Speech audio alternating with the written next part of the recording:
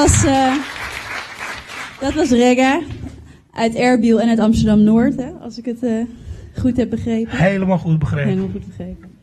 Um, dit was heel exclusief. We gaan nu pas uh, live ook op de stream. Welkom allemaal, want Regga werkt momenteel nog aan dit nummer en aan deze plaat. En wij hadden dus een exclusieve preview, maar nog niet voor de mensen thuis.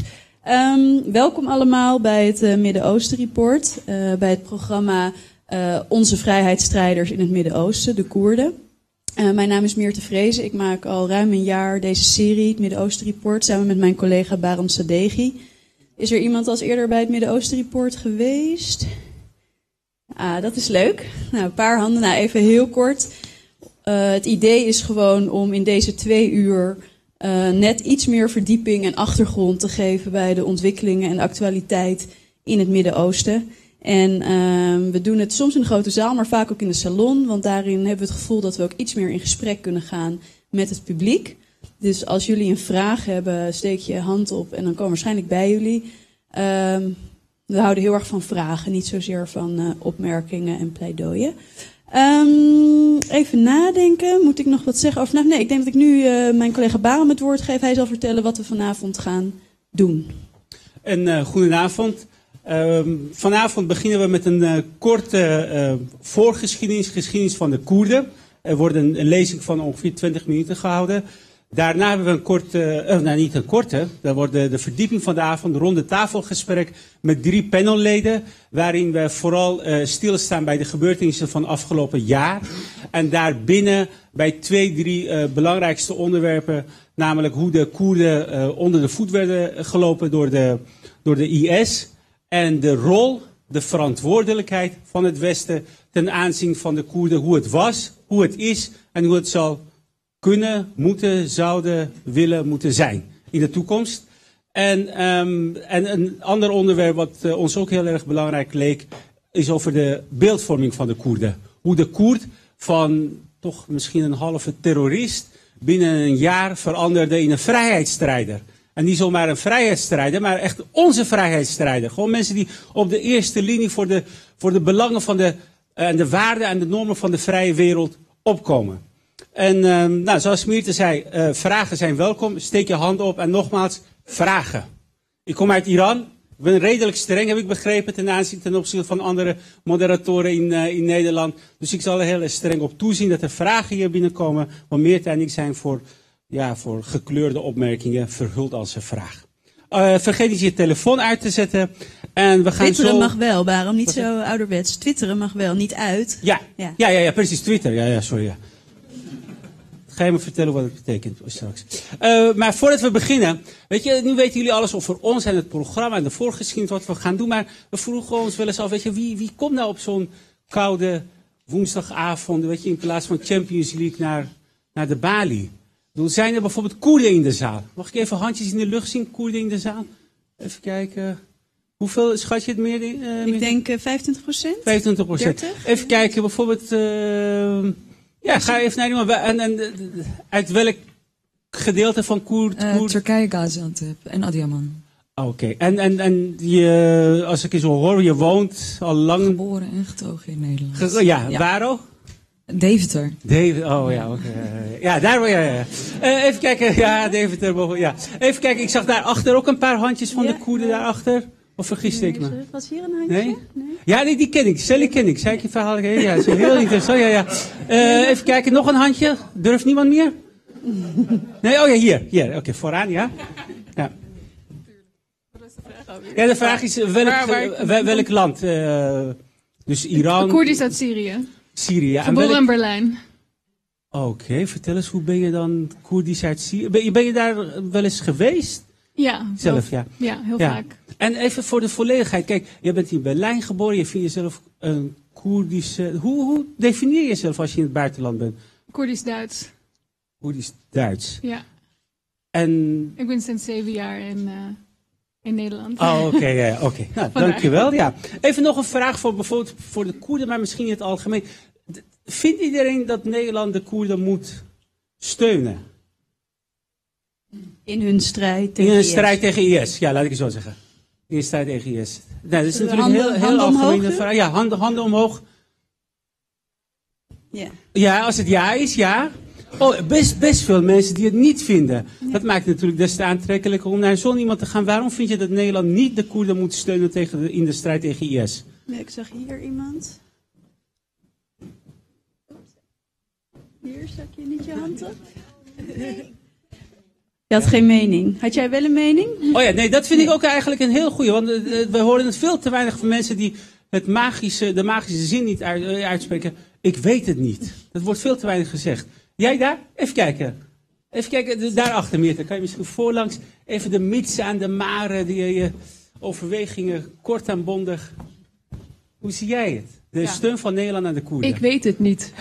Maar vertel eens, wat, wat vind je goed, wat vind je slecht? Hoe Nou, ik ben zelf in Koerdistan, ik zeg Koerdistan, geweest. Dus Ja. ik ben een beetje subjectief. Juist. Ik zeg al Koerdistan, dat is eigenlijk ook weer dan een politieke uitspraak. Ja. Maar eh, eerst vond ik van wel, op mijn sentiment. Ja. Maar toen ging ik naar meer lezingen over ISIS en me er meer in verdiepen. En zo ben ik aan het twijfelen gebracht van waar mengen we ons in? Ja. En eh, wat is het eigenlijk echt? Eh, Hè? Het is niet alleen wat je in de media ziet, maar het is wat complexer, vind ik, als je er wat dieper op ingaat. Oké, nou ik ben Dus daarom benieuwd- weet ik het niet. Ja, ik ben benieuwd hoe je over anderhalf uur hierover... We over komen bij je terug. Ja, we komen Ja. zeker bij je terug. En even kijken, de, eh, misschien ook een vraag. Weet je, we willen natuurlijk niemand uitsluiten op deze avond. Even een vraag voor Hollanders onder ons, zeg maar. Echt de oud-Hollandse mensen hier in de zaal. Even een vraag over, even kijken, wie zijn dat? Mag ik even handjes in de lucht zien? Ja, toch wel durven, ja. Even een vraag over beeldvorming. ja. Weet je, ik ben benieuwd Ja. wat, wat, wat je beeld Als je, ja, was. als je aan een koert... eh, Ja, waar denk, Denk- je aan? waar denk je dan? Waar dacht je als je aan een koer dacht of denkt? Wat zag je voor je? Eh, nou, die hebben een, eh, een eigen ingewikkelde geschiedenis. En eh, de beeldvorming eh, verandert nogal. En het is nogal afhankelijk van eh, eh, de rest van de wereld. En van heel veel landen handelen in hun eigen belang voornamelijk. Ja. En eh, ik vind het wel interessant om wat meer over het perspectief van de Koerden zelf te horen. In plaats van wat andere mensen ervan zeggen. Ja. Even kijken, ik wil nog één iemand over zijn of haar beeld van de Koerd. Hoe het vroeger was, of het veranderd is. Jij? Ja, zeg het mij, ik ben toch benieuwd. Weet je, ik had ook een idee als ik aan, aan Cambodja dacht. Weet je, had ik een bepaald beeld voor me. En ik ben benieuwd wat jouw beeld van de Koerd was. Of de Koerden of Koerdistan. Eh, nou, ik vond het altijd een beetje ingewikkeld. En het is pas eigenlijk sinds de laatste tijd dat ik me er wat meer in probeer te verdiepen. en wat is dus- jouw beeld nu? Nu, ehm, eh, nu, nu vind ik het heel ingewikkeld in de zin van dat het inderdaad zo verandert in de zin van we hebben een gezamenlijke vijand, dus we zijn nu samen. En daarom ben ik eigenlijk hier omdat ik dat wel benieuwd hoe dat verder wordt gezien nu. Oké. nou, jou had ik ook in de gaten, ja. Ehm, Ja, dan gaan we ehm, naar onze eerste spreker. Die eh, hebben eigenlijk de onmogelijke opdracht gegeven om een crash course Koerdistan te geven in 20 minuten. Maar hij heeft eh, deze uitdaging toch aangenomen. Eh, Michiel Lezenberg, oorspronkelijk klassieke talen, filosofie en algemene taalwetenschappen. En nu aan de afdeling wijsbegeerte verbonden van, aan de Universiteit van Amsterdam. Schreef het boek Islamitische filosofie, een geschiedenis. Michiel, terwijl je naar het katheder loopt, ehm oh, je wilt daarachter vertellen. Oh, je gaat niet katheder. Ehm, maar wat heb je eigenlijk met de Koerden? Ja. Een romance zou misschien al te, te orientalistisch zijn, maar ik, eh, ik ben in 1988 na mijn afstuderen bij klassieke talen voor het eerst in, eh, in mijn eentje naar het Midden-Oosten gegaan. Turkije, Oost-Turkije, of wat nu Noord-Koerdistan heet, Syrië. Ehm, letterlijk de eerste persoon die ik in Syrië tegenkwam zei onmiddellijk, ik ben geen Arabier, ik ben een Koerd. Ik ben daar uitgenodigd en eh, heb gehoord wat hun situatie daar was. In hetzelfde jaar was ook het, eh, de periode dat de zogeheten Anfaal-operaties in Irak werden gehouden en de, de chemische aanval op Halabja plaatsvond. Ik ben me op dat moment gaan afvragen. Ik wist op dat moment, ik moet bekennen, helemaal niks van Koerden af. Ik ben gewoon begonnen me daarin te verdiepen in de geschiedenis, de taal en de cultuur. Het jaar daarop heb ik eh, een half jaar het Midden-Oosten rondgereisd, vooral in de Koerdische regio. Met name ook Irak, in de tijd tussen de Iran-Irak-oorlog en de, de Golfoorlog van 91. Ik heb meer en meer over de regio geleerd en ben ook in de jaren 90 vaak voor veldonderzoek geweest. En morgenochtend vertrek je naar Erbil, vertelde je mij. Inshallah. Inshallah. Oké. Michiel Lezenberg. Ja, bedankt. Ehm, ik zou heel graag mijn verhaal in het Koerdisch voor u houden, maar ik denk dat ik een deel van het publiek daarmee eh, tegen de haren in zou strijken. Dus we houden het op Nederlands. Eh, we zitten natuurlijk op een heel dramatisch moment in de geschiedenis voor de Koerden. U heeft allemaal gehoord, waarschijnlijk vandaag is er in Erbil een bomaanslag gepleegd bij het gebouw van de gouverneur. Laatste schatting die ik gehoord heb waren er zes doden en een stuk of twintig gewonden. En de hele stad is in paniek, want dit is in geen zeven maanden gebeurd. Tegelijkertijd in Turkije, en dit heeft u waarschijnlijk niet gehoord, zijn er een universiteit van Mardin, waar op dit moment de enige plek in heel Turkije waar het Koerdisch als taal kan worden onderwezen. Daar is de volledige staf van de afdeling Koerdisch, inclusief de, de voorzitter van de vakgroep, Kadri Yildirim. 67 personen zijn gearresteerd op verdenking van, naar het heet, uh, financiële malversaties. Maar het politieke signaal wat hier wordt gegeven is overduidelijk. We zijn er nog lang niet in de strijd van de Koerden om meer culturele, laat staan politieke rechten in de strijd om vrijheid en rust en vrede. Ik heb intussen nog maar 15 minuten over, denk ik.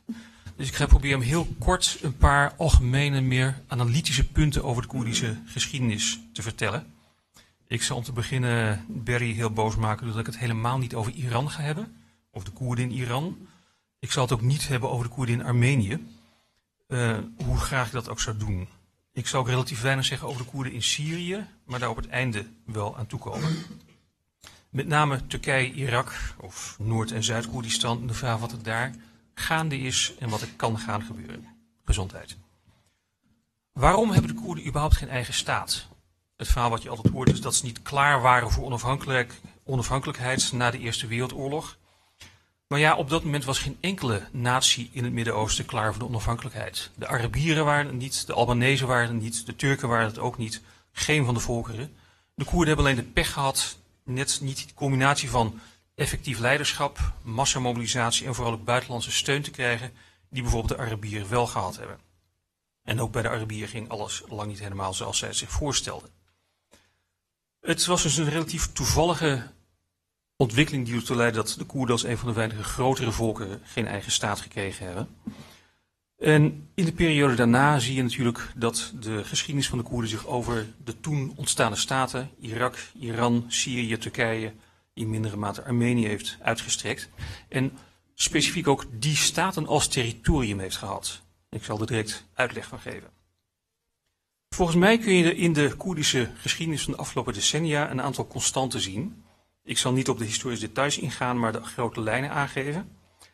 Een van die constanten is volgens mij dat er nooit een verenigde Koerdische politieke beweging is gekomen die daadwerkelijk naar een vrij en verenigd en onafhankelijk Koerdistan gestreefd heeft. Alle Koerden dromen van een vrij en verenigd Koerdistan. Alle Koerden bewijzen ook lippendienst aan het ideaal, maar de praktijk van alle Koerdische partijen is altijd geweest om binnen respectievelijk Turkije, Irak, Iran, Syrië enzovoort te opereren. Een grote vraag is, komt daar op dit moment verandering in? Een andere lange constante en een hele opmerkelijke denk ik, is dat de Koerdische beweging altijd relatief seculier is geweest. We weten allemaal, Koerden zijn moslims, grote meerderheid. Je hebt Yazidis en andere religieuze minderheden. De grote meerderheid is Soenitische moslim, maar van een heel ander soort dan Arabische en Turkse Soenitische moslims. En opmerkelijk genoeg, Koerdistan heeft een beweging van politieke islam gekend. Met name in Iraaks Koerdistan in de jaren negentig. Dat was een ware Salafi-jihadi beweging, geïnspireerd door de strijd in Afghanistan met name. Deze ontstaan en weer afgezwakt. Op dit moment is de politieke islam in Zuid-Koerdistan, in Noord-Koerdistan en elders zeker niet afwezig, maar het is een ondergeschikte kracht. Het is zeker niet zo dominant als die in Turkije zelf of als in uh, Irak is onder Soenitische Arabieren. Dus je kunt zeggen dat een andere constante van de moderne Koerdische geschiedenis is een seculier Koerdisch nationalisme. Een derde constante, en ik denk dat een aantal van mijn Koerdische vrienden hier niet blij mee zal zijn met deze opmerking. De Koerdische partijen hebben een duurzame Leninistische traditie. Dat wil zeggen, er is een duurzame traditie waarin het idee bestaat. Het zijn de grote partijen die aangeven hoe het met het land moet gaan. Het zijn de partijen die de voorhoede vormen van een Koerdische revolutie. De partijen leiden ons en de partijen zijn degene die beslissen wat er gebeurt. Je merkt dat in Iraaks Koerdistan met name de KDP en tot voor kort de PUK de dominante partijen waren. In Turks Koerdistan natuurlijk de PKK dominant geweest en altijd gebleven. Het idee dat deze partijen het morele en politieke leiderschap over de gemeenschap als geheel hebben, is heel erg sterk en dat is het nog steeds. En ook hier de vraag, komt hier met de opkomst van een nieuwe generatie die niet met deze Leninistische politiek is opgegroeid, misschien verandering in. Oké, hoeveel seconden heb ik nog? Oké, nou niet zo heel lang. Oké, 12 minuten. Ik zal proberen een paar andere belangrijke ontwikkelingen van de afgelopen decennia aan te geven. U weet natuurlijk allemaal globaal de geschiedenis van assimilatie en onderdrukking van alle Koerdische identiteiten in Turkije. U weet allemaal dat in de jaren 80 daar de PKK-guerrilla-beweging tegen in actie is gekomen. Als gezegd, een van de bronnen van het succes van de PKK was juist het feit dat ze zo strak en centraal geleid werden. Ze hadden een centralistische hiërarchie, volgens tegenstanders een Stalinistische persoonlijkheidscultus rond de leider Öcalan, maar die heeft ondubbelzinnige successen opgeleverd. Zij het tegen een hele hoge prijs. De vernietiging van duizenden Koerdische dorpen in Turkije door het Koerdische leger. Sorry, het Turks leger, ja. Dit wordt uitgeknipt voor de videoopname, hoop ik. Ehm, wat ook belangrijk is geweest, is dat de PKK feitelijk altijd in Turkije en voor of binnen dat Turkse, eh, die Turkse arena gevochten heeft. Ze hebben ook wel degelijk geprobeerd om te mobiliseren onder Iraakse en Syrische Koerden en wat later ook in Iran. Maar dat is maar zeer ten dele gelukt tot voor kort. Maar hun politieke doelen hebben zich altijd primair op Turkije gericht. In de jaren 90 was ook heel duidelijk dat ze bijvoorbeeld gesteund werden door een buurland als Syrië. Dus tegen het regime van Hafez al-Assad, de vader van Bashar, nooit expliciet stelling hebben genomen. Domweg omdat ze daar gedeeltelijk logistiek van afhankelijk waren. Iets soortgelijks valt natuurlijk over het Iraaks-Koerdische partij te zeggen. Maar een hele dramatische gebeurtenis was natuurlijk in 1999 de arrestatie of de ontvoering van PKK-leider Öcalan, op dat moment in Kenia. Waarna een soort van vredesproces zou zijn ingezet volgens PKK-bronnen. Waarin de eerdere claim op een onafhankelijke Koerdische staat binnen wat toen nog Turkije was, werd opgegeven. En er werd gesproken van autonomie voor de Koerden binnen Turkije. En een pluralistischer en met name ook multiculturele samenleving die moest gestalte krijgen. Ideologisch gezien is hier de verschuiving van een streven naar een eigen staat naar een autonomie binnen een bestaande staat en van nationalisme naar multiculturalisme. En dit is heel sterk in de PKK-ideologie. Nou, of er daadwerkelijk tussen 1999 en 2012 een vredesproces plaatsvond, daar kunnen we het over hebben. Maar vanaf 2012, zoals u allen weet, is er een daadwerkelijk vredesgesprek tussen de Turkse regering, of de Turkse overheid en de PKK op gang gekomen. Maar mijn suggestie is, deze gesprekken hebben die bestaande Leninistische structuur waarin de partij top de dienst uitmaakt, verstevigd. Omdat niemand buiten PKK-leider Öcalan en een kleine kring van getrouwen en de hoogste kringen van de Turkse regering weet wat hier precies besproken is, laat staan wat de resultaten daar tot dusver van zijn. Als iemand van u het weet, hoor ik dat graag, maar ik ken niemand die concrete uitkomsten hiervan tot dusver weet. Iraaks-Koerdistan is eveneens in grote lijnen bekend. Iedereen weet de enorme repressie, de genocidale repressie door het regime van Saddam Hussein in de jaren 80 tot en met de vroege jaren 90. Een regelrechte volkerenmoord, de zogeheten Anfaal-operaties, het vernietigen van 4000 Koerdische dorpen. Ook hier kun je je afvragen, heeft de Koerdische guerrilla-strijd zelf veel concrete tastbare resultaten opgeleverd? Een enorme hoge prijs betaald door de bevolking en het feit dat de Koerden in 1991 opeens een stuk land onder hun controle kregen, dat was min of meer toevallig, onverwacht en indirect gevolg van de golfoorlog die door Saddam werd ontketend toen hij Kuwait bezette. In de jaren 90, u zult het zich wellicht nog herinneren, is ook een lange periode van onderlinge gevechten tussen de Iraaks-Koerdische partijen, met name de PUK en de KDP en ten dele ook de islamitische beweging geweest. Er zijn ook meerdere keren gewapende strijdsepisodes tussen de Iraaks-Koerdische partij en de PKK geweest. Dat is vanaf globaal 1997, 98 geleidelijk aan afgezwakt. En vanaf 2003 heeft zich een relatief stabiele, vreedzame en vooral ook welvarende Koerdische regio gestabiliseerd, die vanaf 2005 ook een constitutionele status als autonome regio heeft. Een van de grote opmerkelijke verschuivingen die heeft plaatsgevonden is dat de regio voor het eerst ongelooflijk welvarend is. Je ziet ook fysiek dat Iraakse Koerden op dit moment er anders uitzien dan hun buren. Als je een Iraaks-Koerdisch jongen van 18 naast een Syrisch-Koerdisch jongen van 18 zet, dan zie je onmiddellijk letterlijk een paar kilo verschil. Zo welvarend zijn ze. Een andere belangrijke verschuiving die zich heeft voorgedaan is het feit dat de langdurende rivaliteit tussen KDP en PUK geleidelijk aan is afgezwakt en er is een nieuwe rivaliteit ontstaan. Een belangrijke reden dat die rivaliteit tussen PUK en KDP is afgezwakt is de geleidelijke verzwakking binnen PUK, de afsplitsing van een andere partij, de Goran-beweging. En natuurlijk de, de hersenbloeding die PUK-leider Talabani gekregen heeft. Maar wat met name de laatste paar jaar is ontstaan, is een nieuwe rivaliteit tussen de KDP en met name zijn leider Barzani enerzijds en de PKK en zijn leider Öcalan anderzijds. Beide streven een soort van positie na van het morele leiderschap voor alle Koerden. Ze leggen geen politieke claims op territorium en respectievelijk Irak voor Öcalan en Turkije voor Barzani, maar ze pretenderen het morele leiderschap voor alle Koerden aan te geven. Sorry? Irak Nee, Barzani voor en de. Koerdische regionale regering maken alleen claims binnen Irak, zoals we dat nu kennen. Öcalan maakt geen aanspraak op territorium in Irak, maar alleen binnen Turkije. Een nieuwe rivaliteit, beide pretenderen het leiderschap. En de belangrijke ontwikkeling hier is dat hier de afgelopen twee jaar een nieuwe arena voor strijd tussen de KDP, of misschien de Koerdische regionale regering enerzijds, en de PKK is ontstaan. En dat is vanzelfsprekend Syrië. En dit is een verhaal wat je in de media niet of nauwelijks hoort. Er is natuurlijk een rivaliteit gaande tussen de KDP en de partijen uit Syrisch Koerdistan die door de KDP gesteund worden enerzijds, en de PKK en zijn franchise, als je het zo noemen, de PYD anderzijds. Als gezegd, politieke islam in Koerdistan is in de jaren 90 opgekomen, tegen het einde van dat decennium weer afgezwakt. De simpele verklaring voor de relatieve afwezigheid van politieke islam in Iraaks Koerdistan is het feit dat Koerden overwegend Naqshbandis zijn en dus geen interesse hebben in salafistische bewegingen. Maar deze verklaring is echt te eenvoudig.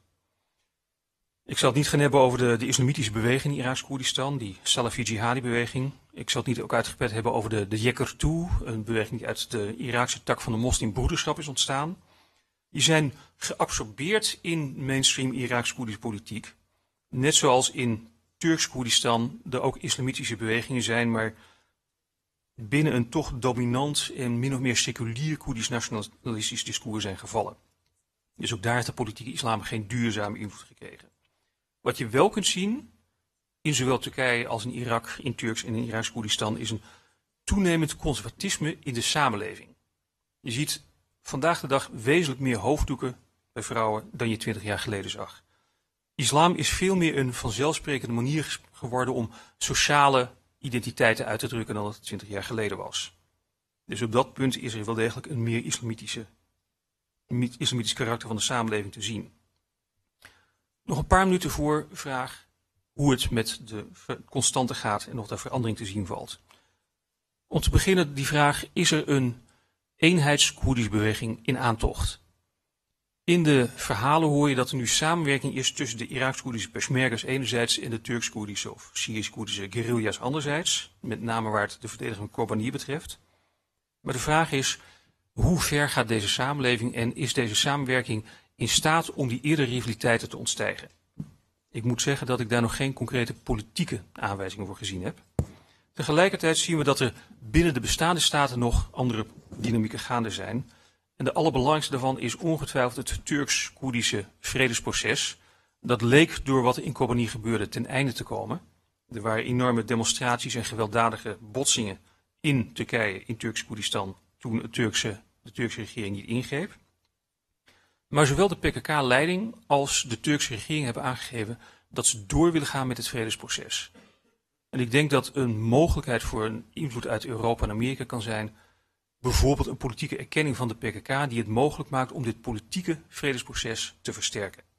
En daar is het langzamerhand ook duidelijker mogelijk geworden om de PKK van die lijst van internationale terroristen af te halen. Tegelijkertijd zie je dat de Iraakse Koerden hun eerdere plannen voor het houden van een referendum voor onafhankelijkheid en het afkondigen van onafhankelijkheid in de ijskast gezet hebben. Wellicht waren die plannen sowieso een onderhandelingstactiek naar Bagdad toe, maar op dit moment is dat even duidelijk niet aan de orde. Laat staan aanspraken op grotere gebieden, laat staan pogingen om een grotere politieke beweging voor alle Koerden op te zetten. Als gezegd, die duurzame tendens van een seculiere Koerdische nationale beweging, die is er nog steeds. Maar je merkt dat die steeds duidelijke islamitische klanken begint te krijgen. Je ziet dat in Turkije bijvoorbeeld een duidelijk islamitisch georiënteerd Koerdisch nationalisme ontstaat. uit kringen van de, de Noorju-beweging, uit kringen als die van uh, die zichzelf als Koerdisch nationalist manifesteren, maar tegelijkertijd ook heel duidelijk als moslim. De derde vraag, hoe zit het met deze duurzame Leninistische traditie onder de Koerden, gaat daar een verandering in komen? Er zijn nog geen hele duidelijke aanwijzingen voor, maar je merkt dat de jongere generaties in Koerdistan, zoals belichaamd in onder meer Koerdische rappers hier en in Koerdistan zelf, niet alleen qua cultuur heel anders zijn en qua vormen van mannelijke of vrouwelijke identiteit duidelijk anders zijn dan mensen van een decennium of twee geleden, maar ook in politiek, politieke outlook hebben ze andere ideeën. Spreekt dit klassieke verhaal van martelaarschap, het idee van gewapende strijd en het idee van leiderschap van de partij relatief minder aan dan het vroeger deed. De grote vraag, en ik heb er echt geen antwoord op, is de nu toenemende militaire confrontatie tussen met name Koerden in Irak en in Syrië en ISIS. Leidt deze tot nieuwe militarisering van de Koerdische samenleving en zo ja tot het verzwakken van deze nieuwe civiele, meer civiele en minder partijgeoriënteerde bewegingen? Als gezegd, ISIS is hier een duidelijke gamechanger in het geheel geweest. De grote vraag is, zal dit tot een grotere eenheid onder de Koerden leiden? Zal het bestaande rivaliteiten tijdig um, ondermijnen? En zal het tot een toenemende westerse interventie leiden? Nou, die westerse interventie is er al, maar die is bizar genoeg um, relatief ineffectief geweest.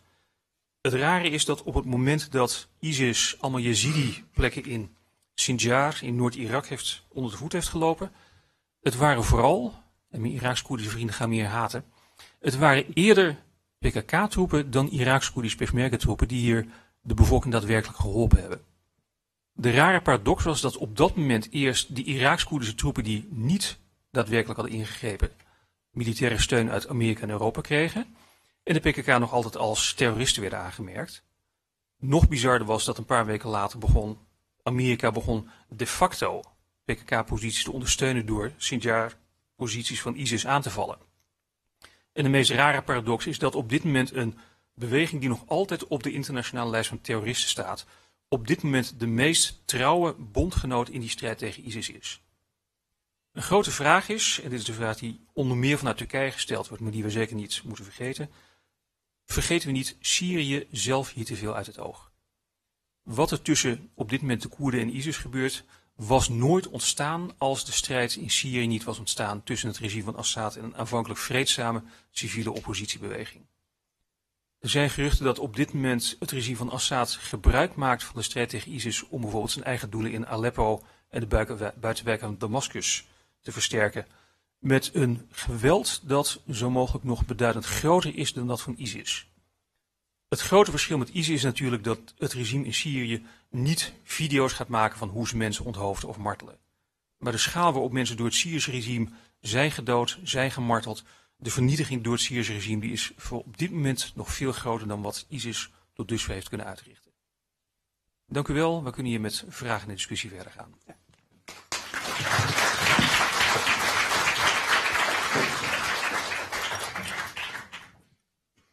Um, voordat ik de um, andere twee panelleden naar voren roep, even een paar korte, meer feitelijke vragen. Um, wat is de huidige staat van Iraaks Koerdistan?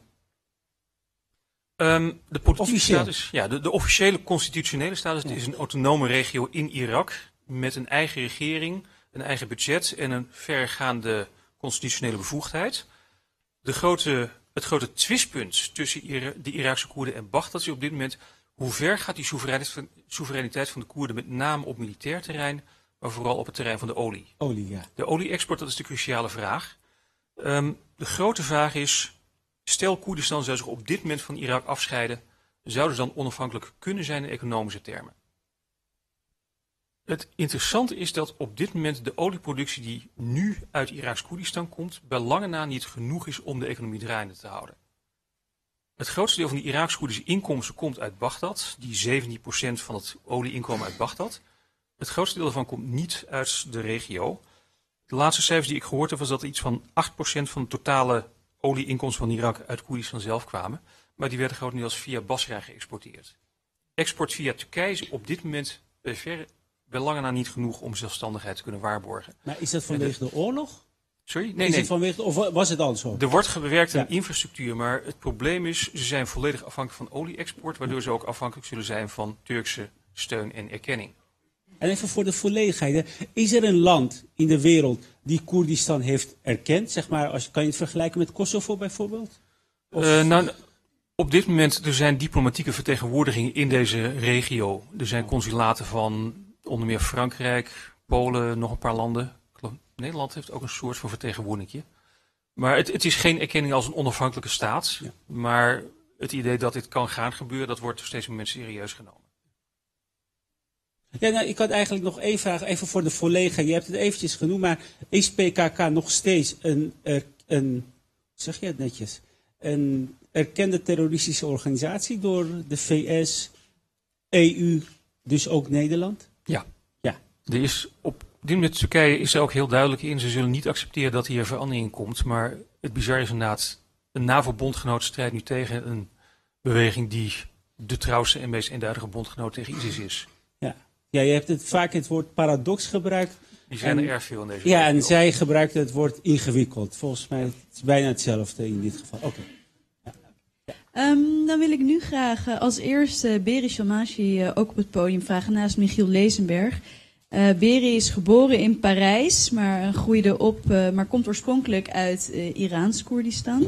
Ehm, is uiteindelijk, wanneer ben je in Nederland terechtgekomen? Oh, heel vroeg, hè? 1986. Ja, dus, dus toen was je... Alles dat daarvoor, toen was ik twee. Dus Ja, alles daarvoor precies. telt niet eens meer haast. Nee.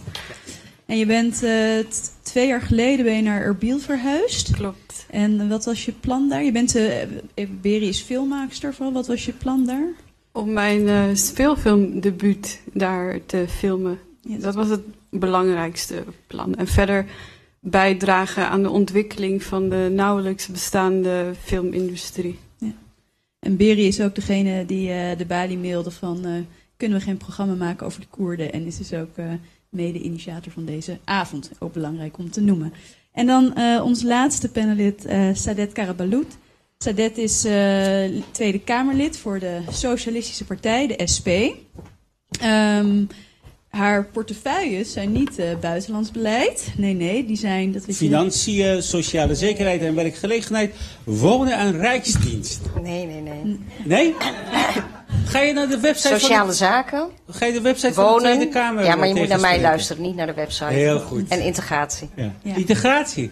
Oké. Dus dat En- heeft en wel een wij- beetje Ja. raakvlakken. En normaal gesproken zou hier eigenlijk eh, Harry van Bommel moeten zitten. Ja. Ja. maar ja, die wilden jullie niet. Nee, precies. Ja, we dachten we willen iemand die, ehm, moet ik zeggen, ondanks, ja, ondanks haar eh, geboorteplaats Dordrecht, klopt dat ja? Eh, toch met Koerdische wortels. Ehm, wat is jouw Koerdische wortel? Kan je dat? eh, Eh, mijn ouders komen uit Dersim, eh, het, het Turks gedeelte van eh Koerdistan. Ja. En ik ben hier geboren en getogen. Ja, en ehm, ehm, als je het over, ja, hoe zal ik het zeggen, zoals dat meisje zei, ik introduceer mezelf in het buitenland als Koerdisch-Duits. Hoe zeg jij het in het buitenland als je... Nederlands? Niks van Koerdisch. Jawel. Turks-Koerdische roots. Nederlands, Turks, Koerdische roots. Ja. Duidelijk, ja. Ehm, ja, de, Michiel, je hebt heel veel aangestipt, waar we denk ik eh, graag verder over eh, willen praten. Eh Sadet, jij bent net terug uit Oost-Turkije. Ehm, of ja, Oost-Turkije, West-Koerdistan. Ja. Ehm, Beri, jij hebt twee jaar in Erbil gewoond, bent nu een paar maanden terug. Kunnen jullie ons een beeld schetsen van ja, hoe de situatie een jaar geleden was en hoe die nu is? En wat dus de grootste veranderingen zijn geweest? En als jullie ook kunnen vertellen, hoe, naar jullie idee, hoe dat in eh Syrisch Koerdistan is geweest, ook graag. Nee, jullie vooral. Ja, ja, Ja? ja, ja. Ehm, vanuit mijn perspectief, en ik ben dus Koerdisch uit Oost-Koerdistan, Iran. Maar ik heb gewoond in Zuid-Koerdistan, in Irak. Wat op het moment dat ik er ging wonen, 2,5 jaar geleden, een reizende ster was. Misschien wel tot een half jaar eh, geleden. Zou je dat zo kunnen omschrijven? Zo, zowel eh, sociaal, cultureel als vooral economisch. En daarmee in opkomst in de regio, maar ook heel aantrekkelijk voor het Westen. Eh, Michiel begon net al, die vertelde net al dat er representaties zijn in Erbil. Dat zijn er ongeveer 35 op het moment. Dus eh, consulaten van eh, de ambassade in Bagdad.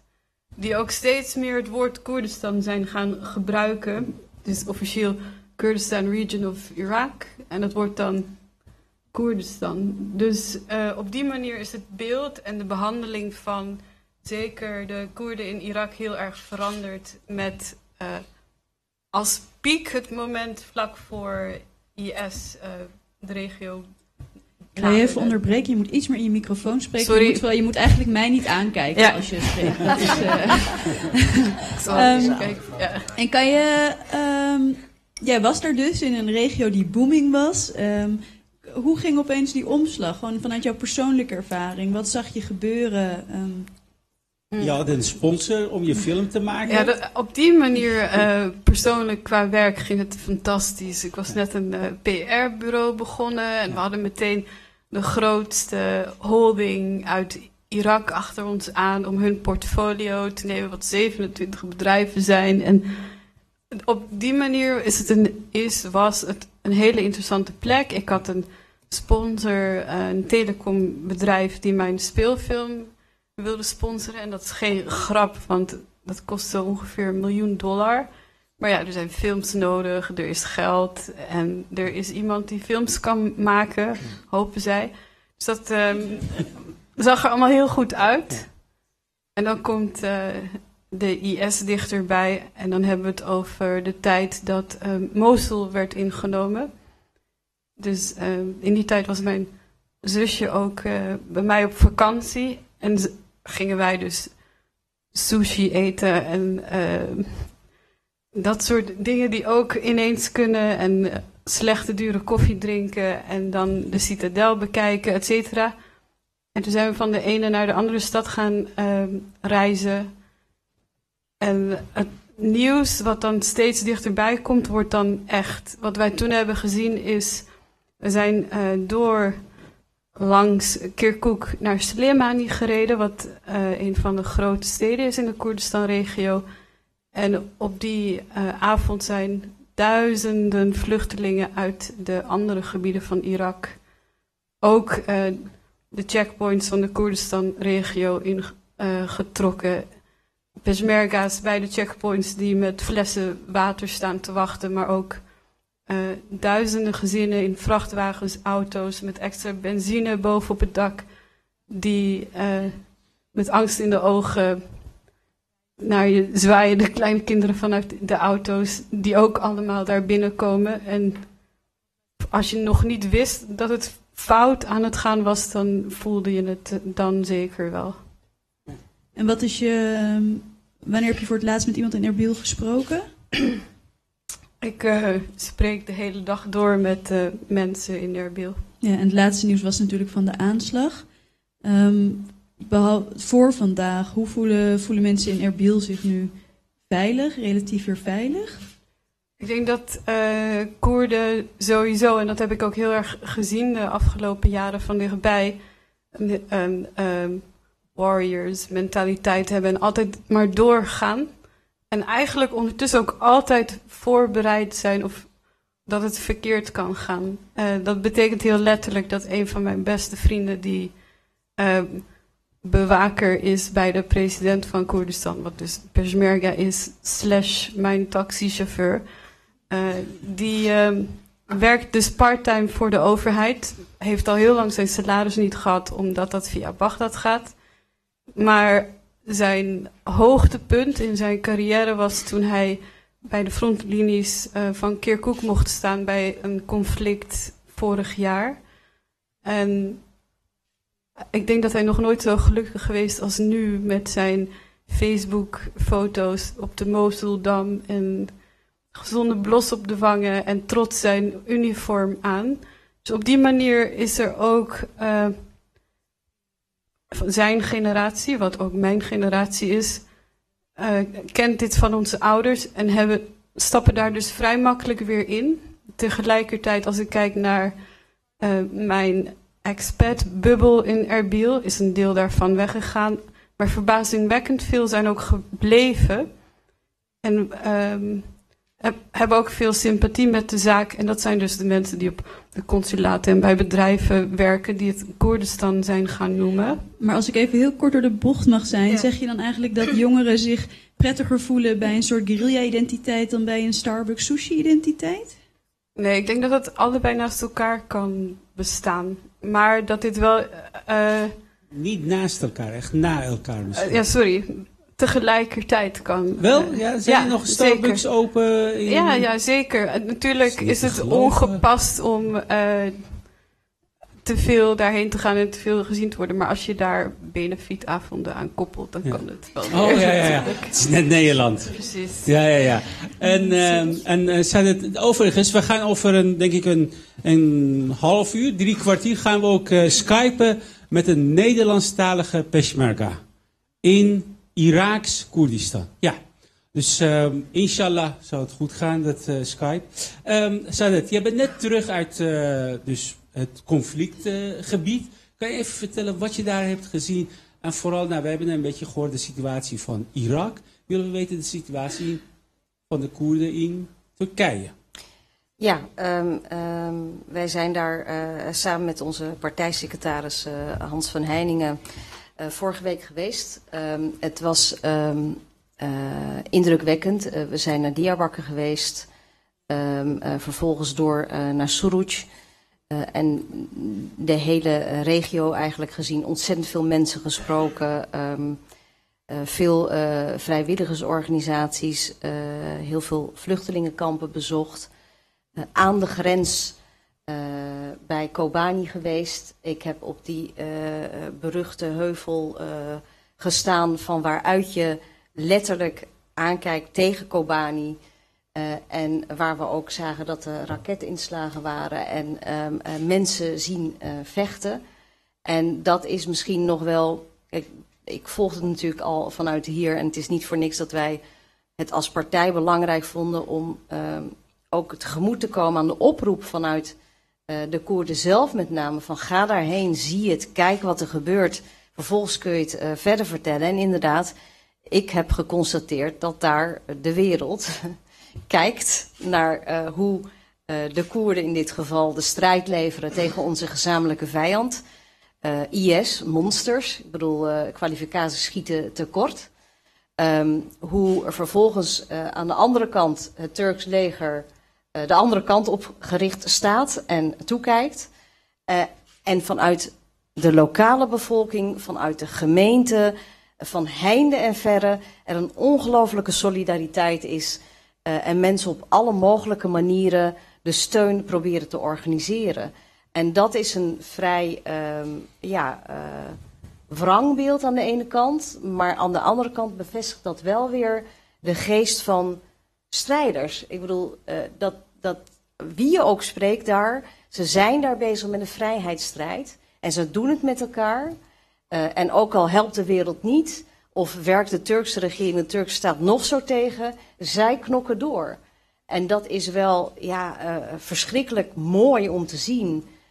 En verplicht ons ook, vind ik, mijzelf natuurlijk als volksvertegenwoordiger, wij als partij, maar ik denk gewoon ook eh, eh, meer eh, de mensen in zijn algemeenheid, om voor die strijd te staan. Kijk, de, de oplossing en interventies, dat is even vers 2.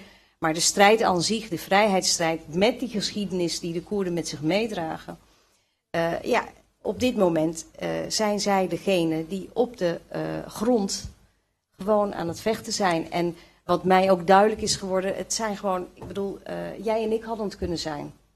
Als wij in die regio hadden gewoond. Je moet je voorstellen dat eh, zij worden aangevallen. eh, en vervolgens eh, ga je jezelf verdedigen. Overgeven is geen optie. Je verloren geven al helemaal niet. Dus zij moeten versla- verslagen worden en dat doe je met z'n allen. En zo gaat het ook. Je ziet ook dat die bewegingen twee kanten op gaan. En Diyarbakir is een iets ander verhaal, maar Ja, ik heb, ik heb eigenlijk twee vragen. Voor de ene is eh, nou, misschien meer voor Michiel, maar viel bij. Ik vraag me toch af, eh, ik zie toch nog steeds niet helemaal voor me hoe die samenwerking tussen alle verschillende Koerdische partijen nu precies eh, eruit ziet. Ook in Kobani. Maar ik wil toch eerst nog terug naar Sadet. Want ehm, dit was eigenlijk later op mijn kaartjesronde. Maar de SP heeft zich natuurlijk tegen militaire interventie uitgesproken. En nu proef ik toch uit jouw er- verhaal, nu je daar bent geweest, dat jij voelt dat er wel westerse steun nodig is. Ja, natuurlijk. Maar mensen hebben geen bommen nodig. Wat hebben ze wel nodig? Mensen hebben daar steun nodig om vrede en stabiliteit eh, te brengen. Maar in wat- Sadet, ik ja. heb een eh, interview gezien gisteren volgens mij.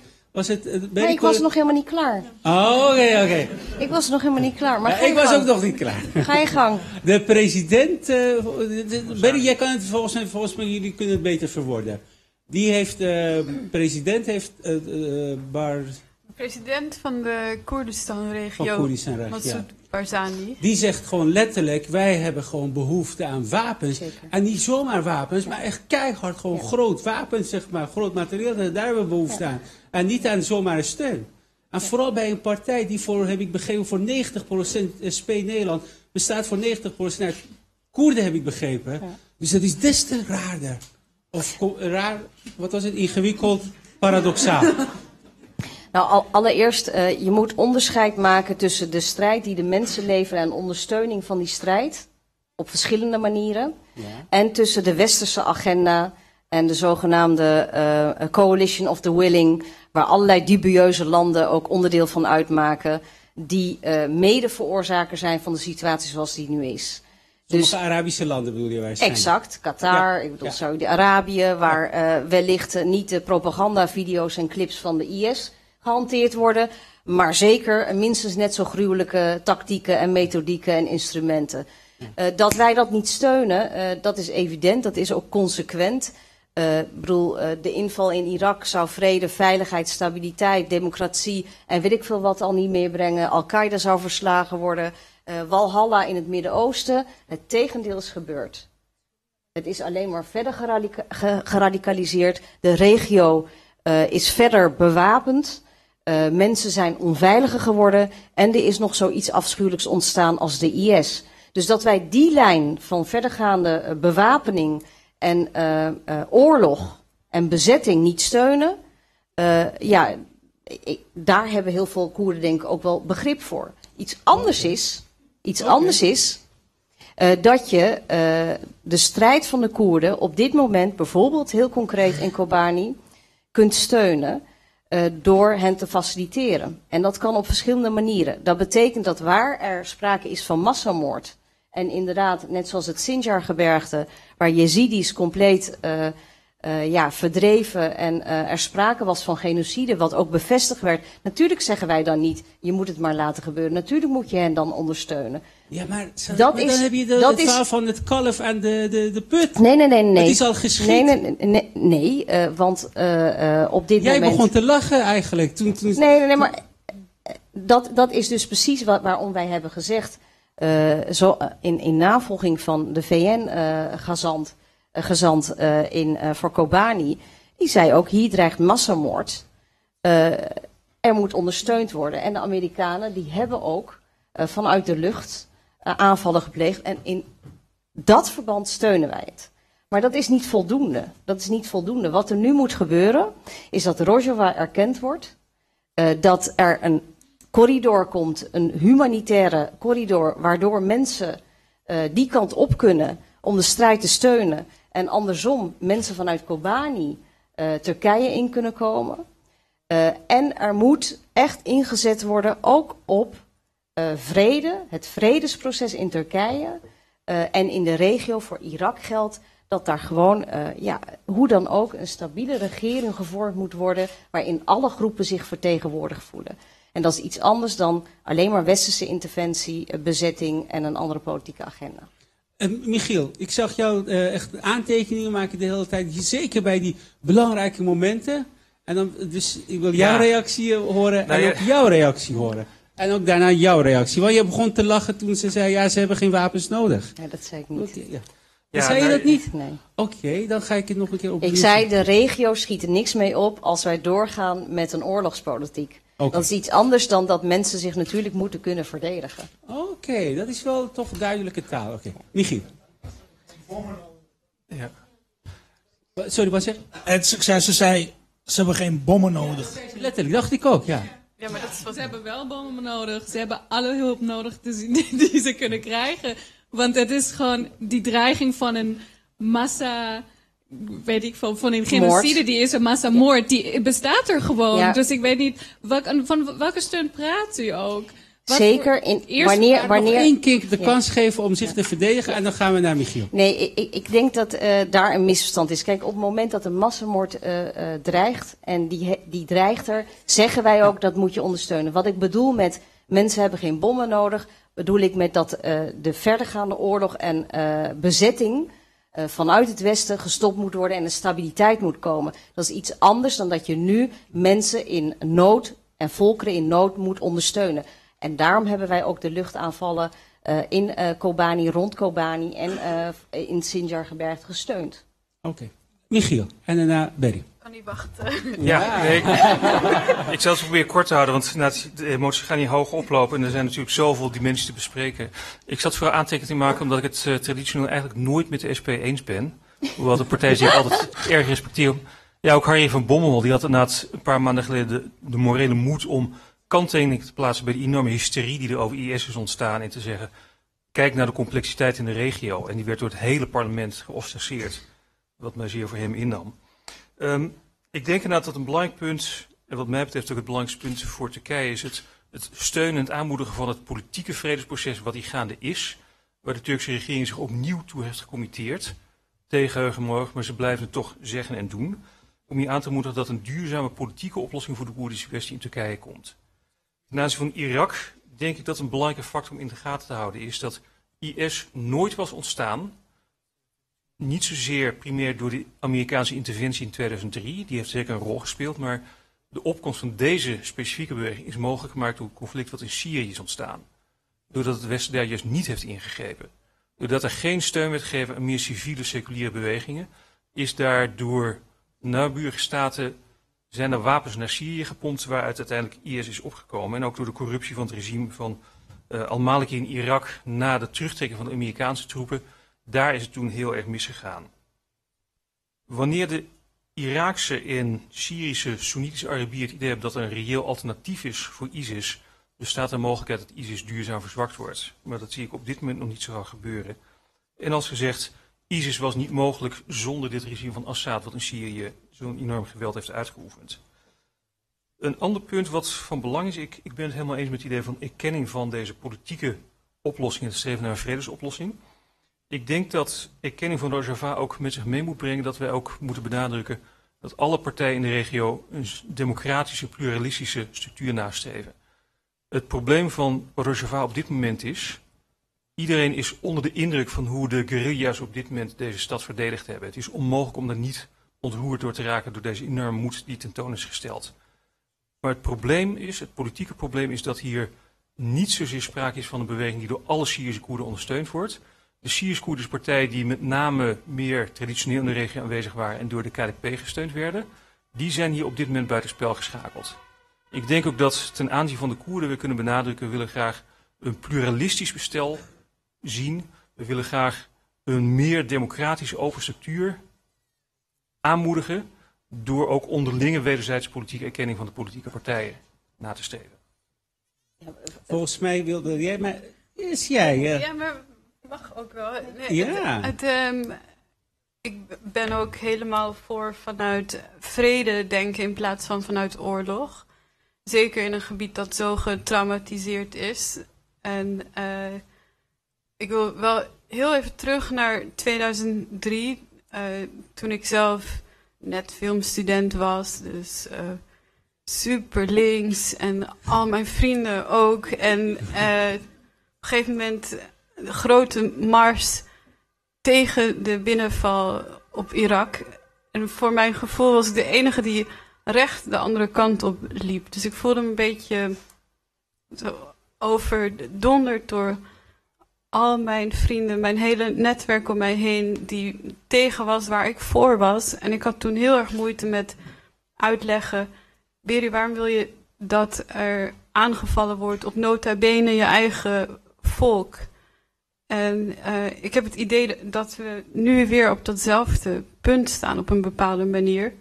Met als verschil dat ik ben gaan wonen waar dat volk is aangevallen. En ik ben het helemaal eens met alles wat Sadet, wat je over Irak zegt. Behalve als het om het Koerdische gebied gaat. Want ik denk dat um, helaas met de offering van de rest van Irak, die nog altijd in de clinch is blijven liggen met elkaar ook. Alleen dan met wapens die zijn achtergelaten, et cetera. En de crisis van Syrië. Ik zal het niet te ingewikkeld maken. Um, maar in de Koerdistan-regio, waar toen al een vorm van autonomie aan de hand was, die na 2003 uh, de rising star is geworden, zoals ik die eerder beschreef. Daarmee is ook um, de Koerdistan-regio militair in, interessant geworden en is bijna een soort van um, sowieso een veilig gebied waar al de afgelopen jaren zoveel vluchtelingen uit Syrië in veiligheid in de regio zijn opgevangen, wat een grote plus is. Plus waar het Westen uh, zich gevestigd heeft en vanuit daar uh, de rest van de onveilige gebieden heeft verkend. En ik denk dus, hoewel er zoveel verkeerd is gegaan in Irak, waar ik het helemaal mee eens ben, heb ik ook gezien dat mijn vrienden die mij platwalsten door tegen mij in te lopen en later eh, de afgelopen jaren op bezoek zijn geweest in uh, Koerdistan, in Irak, die hebben gezegd, oh wauw, omdat ze dan na een paar weken, ik zeg dan vooral niks als zij langskomen, want anders denken ze dat het mijn Koerdische propaganda is. Dan zeggen zij zelf, oh ik zie, wauw, dit, het is toch ergens goed voor geweest. En daarmee wil ik niet goed praten hoe slecht het is geweest voor heel veel andere gebieden waarvan ik me afvraag, maar daar weet Michiel denk ik meer over hoe dat zou zijn gegaan als er niet uh, was ingegrepen. Maar zeker voor de Koerden en daarmee, wat mij betreft, voor de regio, is er nu een um, stabiel gebied, of relatief stabiel tot voor kort, waardoor er vanuit daar geopereerd kan worden, onderhandeld kan worden. Er zijn um, diplomaten uit het Midden-Oosten die Bagdad, of naar het Midden-Oosten die Bagdad niet aandoen en meteen naar Erbil komen, omdat je daar wel uh, vanuit veiligheid de andere gebieden in kan trekken, bijvoorbeeld. Dus ik was heel benieuwd, zonder... Uh, Westerse uh, steun, zeg jij, was dat, had dat nooit ge, was dat nooit gebeurd? Ja, maar ook zonder aan te vallen per se uh, wat Sadet misschien namens de SP ook zegt, ben ik, ben ik heel dankbaar om hier naast je te mogen zitten. Omdat ik hier al heel lang heel benieuwd naar ben hoe dat dan werkt. Want voor mijn gevoel is er toch wel iets goed gegaan. Ook hoeveel er ook slecht is gegaan na 2003. Ja, ik bedoel, die regio en de Koerdische regionale regering in het hele gebied. Harry is daar de afgelopen dagen geweest. Ik was dus naar Turks gedeelte en Harry in, in Irak. Natuurlijk zijn er positieve ontwikkelingen.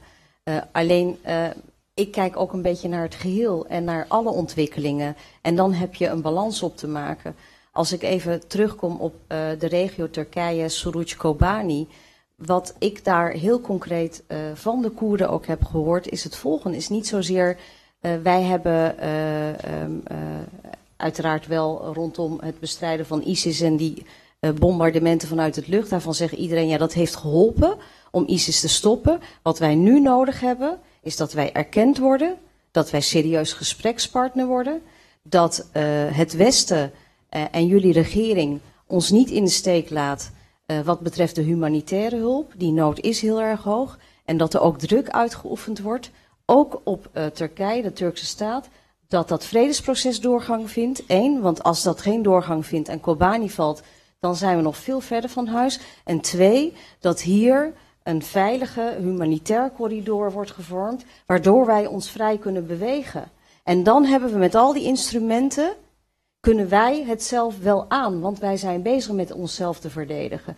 Eh, en waar, waarbij ook nadrukkelijk wordt gezegd: hoe kan, het, hoe kan het dat de IS nog steeds bewapend wordt? Waar komt dat vandaan? Waarom doet het Westen daar geen onderzoek naar? Wie zijn dan die bondgenoten die die wapens leveren? Hoe kan het dat die IS zo gemakkelijk nog die grenzen over kan gaan? Wat is de rol van Turkije daarbij? Maar ook het Westen. Wij zijn ook voor jullie aan het uh, vechten. Wij zijn ook voor jullie landen de vrijheid aan het verdedigen. En dat zijn niet zozeer militaristische interventies en niet dat grote plan met al die grootmachten en de geopolitieke belangen, maar veel meer vanuit de bevolking, vanuit de lokale situatie. En dan zul je zien dat wanneer deze uh, route ingeslagen wordt, in plaats van die grote agenda van uh, allerlei grootmachten, dat daar een hele mooie, stabiele regio kan ontstaan, waarbij Kobani in die regio inderdaad ook een voorbeeld kan zijn, omdat daar Soenieten, Alewieten, Arabieren, Koerden, uh, uh, religieuze, niet-religieuze samenleven en samenbestuur ook een voorbeeld kan zijn voor de rest van Syrië maar Sadet, en de gaat, regio. maar nu laten we even helemaal aan de kant uh, Assad, die de oorlog nog even heeft opgevoerd. En waar het Westen zich al twee jaar niet mee bemoeit. Dus dat, de, de eerste vereiste zou dan toch zijn dat de oorlog in Syrië zelf ook zou stoppen, los van IS.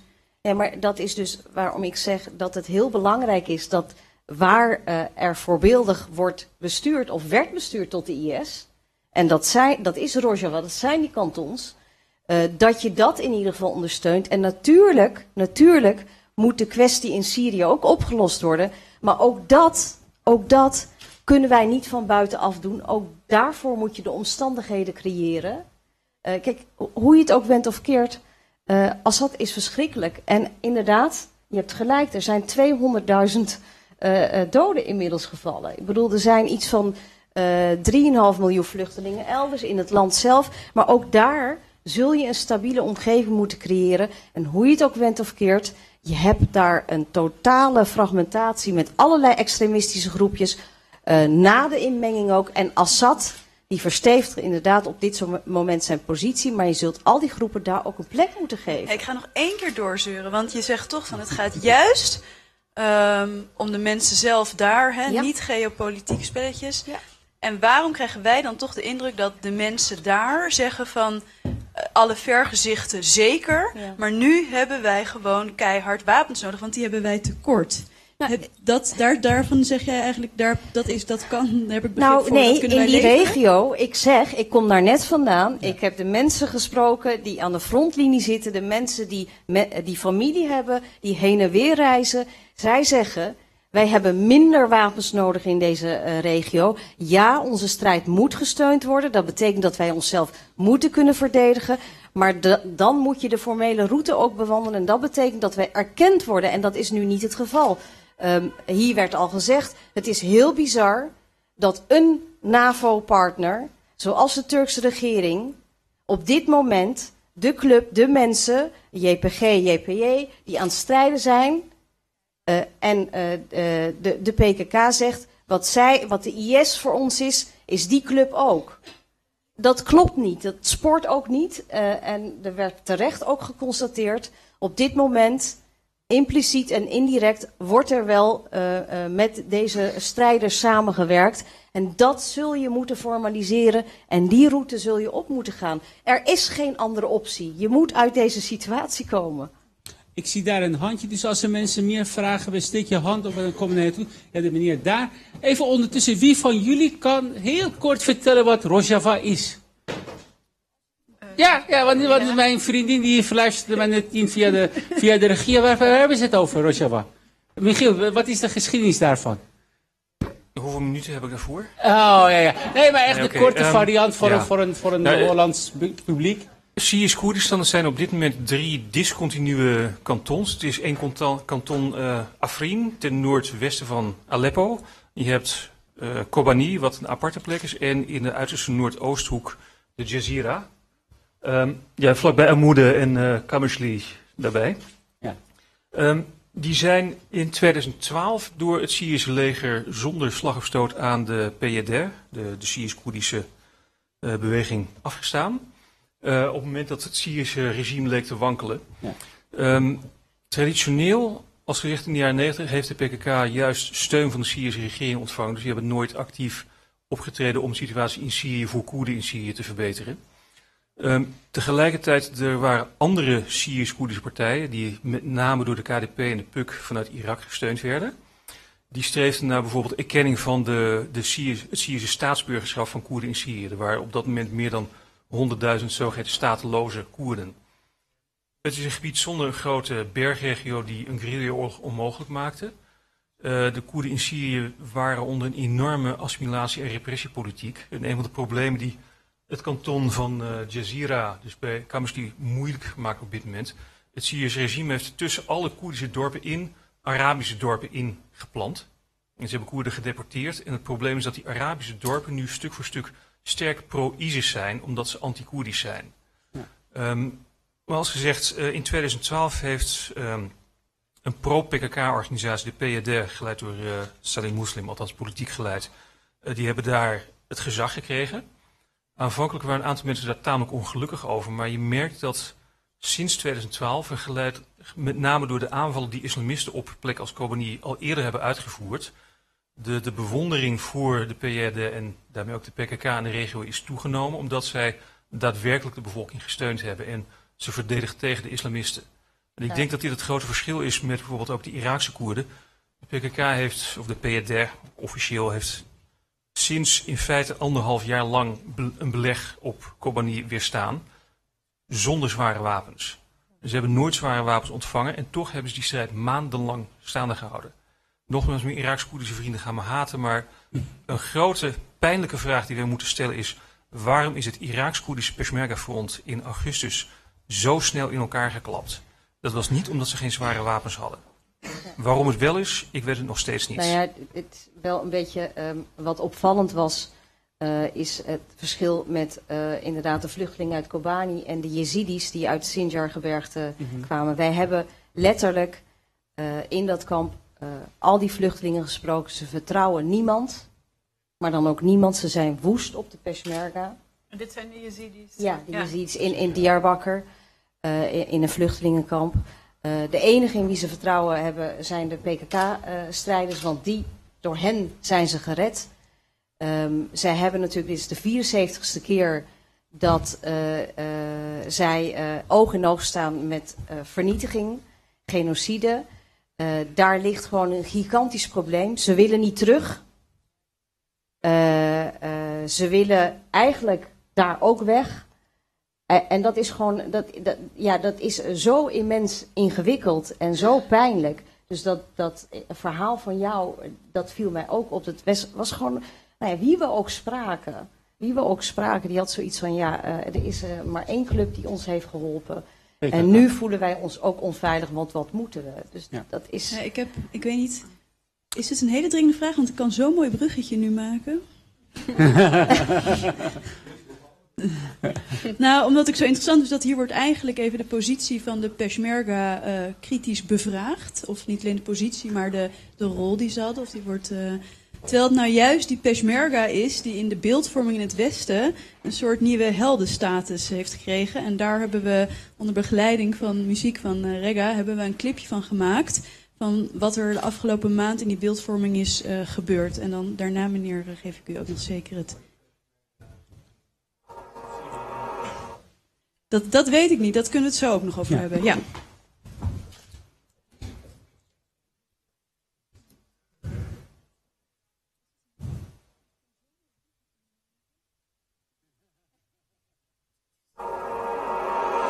Ben geboren het land waar mijn volk al jaren strijdt tegen misbruik, onmacht en onrechtvaardigheid. Moderne slavernij speelt in onze maatschappij en ons bloed ligt op de velden van het Osmaanse Rijk. Waarom die haat en nijd? Luister, we bespreken het. We zijn geen vluchtelingen, maar uit eigen land verdrevenen. Kijk naar het verleden, we hebben gestreden met ze en op de dag van vandaag wil je niet delen met me.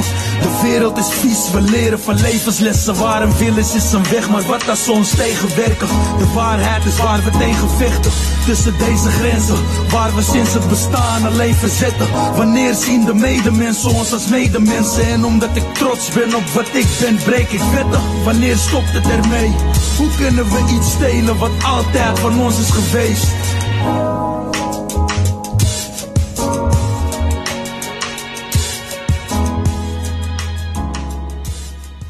Nou, willen we van de filmmaker, want het is een beetje jouw eh, pakje aan, de beeldvorming. En ook van de, van de analyticus. eh, weten, hoe, hoe is de verandering gekomen van toch terroristen, bergvolk en ineens zijn ze onze helden geworden. En zelfs eh, bij H&M, eh, H&M werd beschuldigd dat zij de Peshmerga-kleding hadden overgenomen, geloof ik. Ja, dat was eh, een interessante situatie. Hoe gaat zoiets? Ik wil heel eh, een klein beetje asociaal zijn door toch nog iets te zeggen over het vorige onderwerp. Nee, dat, ik heb Ehm, die meneer dat niet toegestaan, mag jij dat ook niet? Ik wil alleen zeggen, er is in eh, Zuid-Koerdistan ineens een duizend kilometer lange grens met IS. En niet om wie dan ook te verdedigen, want ik vind het ook een interessante vraag waar we misschien pas over tien jaar een antwoord op hebben. Hoe het kan dat het ineens zo misging bij Sinjar. Maar ik kan me ook voorstellen, eh, als je kijkt naar hoe, eh, en dat heeft ook met beeldvorming vorming te maken, hoe de president van de Koerdistan-regio vlak daarvoor, toen Mosul eh, aan de hand was, wat eigenlijk nog steeds zo is, maar daar heeft nu niemand het over, heeft de Koerdistan-regio ineens heel veel grond teruggewonnen en daardoor een euforisch gevoel gehad, een moment gehad waarin de Koerdistan-regio's president Barzani riep, als mijn volk eh, onafhankelijkheid wil, dan eh, moeten we het daar maar over hebben. En dus een referendum aangekondigd toen. Op dat moment dachten de Koerden, zeker in Irak, deze wereld is in onze handen nu. En ehm, toen opeens waarom en wie er met wie gepraat heeft, geen idee. Maar toen opeens is het dus alsnog heel erg misgegaan.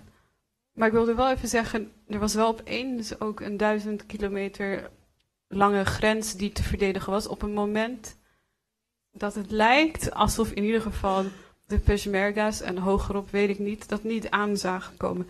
En om dan terug te gaan naar de H&M. ehm, ik denk dat ehm, doordat de Peshmerga's en al, alleen al het feit dat wij hier dat woord nu kunnen gebruiken, zegt al heel veel. Want voor mij zijn, is de generatie van mijn ouders, dat waren ook Peshmerga's.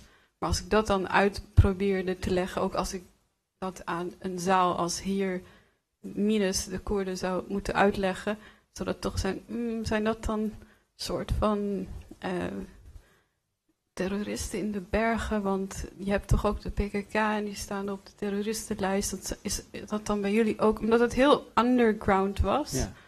Was dat iets heel eh, gevaarlijks om het zo over te hebben. Terwijl nu is het een woord die, eh, zoals een vriendin van me die hier ook zit, laatst op Facebook plaatste. In de Onze Taal weekmail stond als een woord wat we in het Nederlands gebruiken. Dus dat is heel eh, opvallend hoe dat is veranderd. En als we dan kijken naar ehm, hoe dat bijna een hype is geworden, zag je zeker ook in het Westen dat niet alleen Koerden, maar ook eh, de vrienden van de Koerden en daarmee ook zangers, rappers en andere prominente artiesten, bijvoorbeeld in Zweden ineens t-shirts gingen dragen met het woord Peshmerga erop. En zeker ook eh, de positie van eh, de Peshmerga meisjes, dat zijn dan officieel weer strijders, omdat dat in Kobani is, maar voor mij zijn dat ook Peshmerga's die in groene pakken, die ik altijd heel stoer heb gevonden, ehm, in de media werden gezien. En dat de wereld ineens had, oh wauw, er is ook iets anders dan alleen maar de islamitische identiteit in de regio. En wauw, die, die meisjes mogen naar buiten en die mogen iets doen en die vechten, oh, wat, wat stoer. Dat is heel snel gehyped en er zijn heel veel eh, videoclips en collages. En als we die dan van die even meisjes laten twee zien. dominante beelden, dus denk ik Peshmerga als dappere strijders Ja. En Peshmerga als zeer progressief groep waar vrouwen dezelfde rechten hebben als mannen. Ja, Ehm, Maar het kan nooit zo rooskleurig zijn, nee, toch? kloppen die beelden of hebben jullie daar enige nuances bij? Ik, ik denk dat we om te beginnen het, het, het grote onderscheid moeten maken. Het lijkt een nuance, maar het onderscheid tussen Peshmerga en guerrilla. De PKK-strijders en de strijders van pro-PKK-organisaties noemen zich nooit Peshmerga, maar noemen zich altijd guerrilla. Het idee van de Peshmerga, dat is het idee van de Iraakse en Iraans-Koerdische guerrilla-strijders in de jaren 70 en 80 en 90. De grote omvorming die volkomen scheef staat ten opzichte van het beeld van de Peshmerga als de dappere bergstrijders is... De Iraaks-Koerdische strijders zijn de afgelopen 10, 15 jaar omgevormd van een guerrilla-beweging naar een regulier leger wat nooit iets anders heeft hoeven doen dan checkpoints bemannen. Het Iraaks-Koerdische leger dat is niet stelselmatig getraind op een lange, harde strijd tegen een beweging als ISIS. En dit is een van de factoren die de afgelopen maanden die dramatische resultaten hebben opgeleverd. De PKK daarentegen is altijd een guerrilla-beweging gebleven. Heeft altijd de motivatie gehouden om inderdaad een militaire strijd te leveren. Een heel groot verschil tussen PKK en Koerdische regionale regering is dat ook op dit moment, toen Barzani zei, ik wil mijn volk laten stemmen in een referendum over onafhankelijkheid.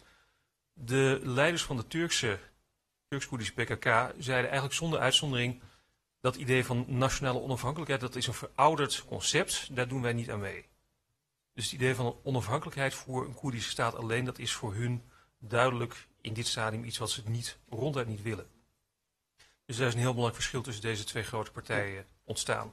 En de beeldvorming van de vrouwen? Ja, en, en Berry, even voordat wij naar Skype gaan, want we Ja. moeten nog met onze eigen Nederlandse sprekende Peshmerga spreken, Skypen. Maar eh, want je zei het over hype Om, eh, en dat soort... beeldvorming. Wat zeg je? Over beeldvorming. Over beeldvorming. Ja, ik, ik ben ook benieuwd wat, eh, wat, wat hij daaraan doet. eh, Vooral over het beeld krijgen van hem. Maar eh Berry, ehm, je zei het wordt gehyped en zo. En ik, hoe- correct me if I'm wrong. Ik dacht dat je het misschien een verkeerde ontwikkeling vond. Die dat gehyped van, van ja, dit komt nu op. Maar voor hetzelfde geld gaat het ook weer weg. En dan zitten wij met gebakken peren weer. Waar kijkt niemand meer naar ons om. Nou ja, ik weet als Koert sowieso dat wij straks weer met gebakken peren zitten. Oké, maar dat is je dat- levensinstelling, altijd. Dat is, eh, zoals we zeggen, we, we hebben geen vrienden behalve de bergen. Ja. Maar ehm, ik denk, om even Michiel in te haken, ehm, hoewel inderdaad de Peshmerga's in eh, Zuid-Koerdistan zijn verworden tot bewakers en checkpoint mannetjes. En dat, ik vond het bijna denigrerend om als er ergens voor een gebouw een bewaker staat, om dat dan naar hem te refereren als Peshmerga, omdat dat ehm, iets heel romantisch is. En ik denk dat guerrilla, guerrilla en Peshmerga, welke term je ook gebruikt, de Koerdische strijders, waar dan ook eh, als gemeenschappelijke factor bij beeldvorming hebben, dat er al, altijd een romantisch beeld bij eh, hoort, ongeacht eh, bij welke partij dat hoort. En ik denk dat het bijzonder is dat dat nu door niet-Koerden zo grootschalig is overgenomen. Zou dat, Baudet, eh, Nou, ik denk, dat ik denk dat het natuurlijk tamelijk uniek is. En zeker vanuit eh Westers oogpunt dat daar opeens zichtbaar wordt. Wat natuurlijk niet eh, opeens is ontstaan. een leger, inderdaad. strijders waar gewoon vrouwen aan de frontlinie staan. Ik bedoel, er is gewoon een gigantische emancipatie geweest de afgelopen decennia. Zeker als je het hebt over, nou ja, nu eh, Kobani, de hele eh, regio in, eh, in Turkije. Ik heb dat weer mogen ervaren. Het is, het is gewoon prachtig. Ik bedoel, vrouwen die hebben allerlei posities. Niet alleen in het leger, in de strijd. maar ook in de besturen. al die gemeenten waar wij zijn geweest. Suruc, de local burgemeester, is gewoon een vrouw. Dus in die zin, hè, vanuit die hele seculiere beweging, maar ook etniciteit is niet belangrijk.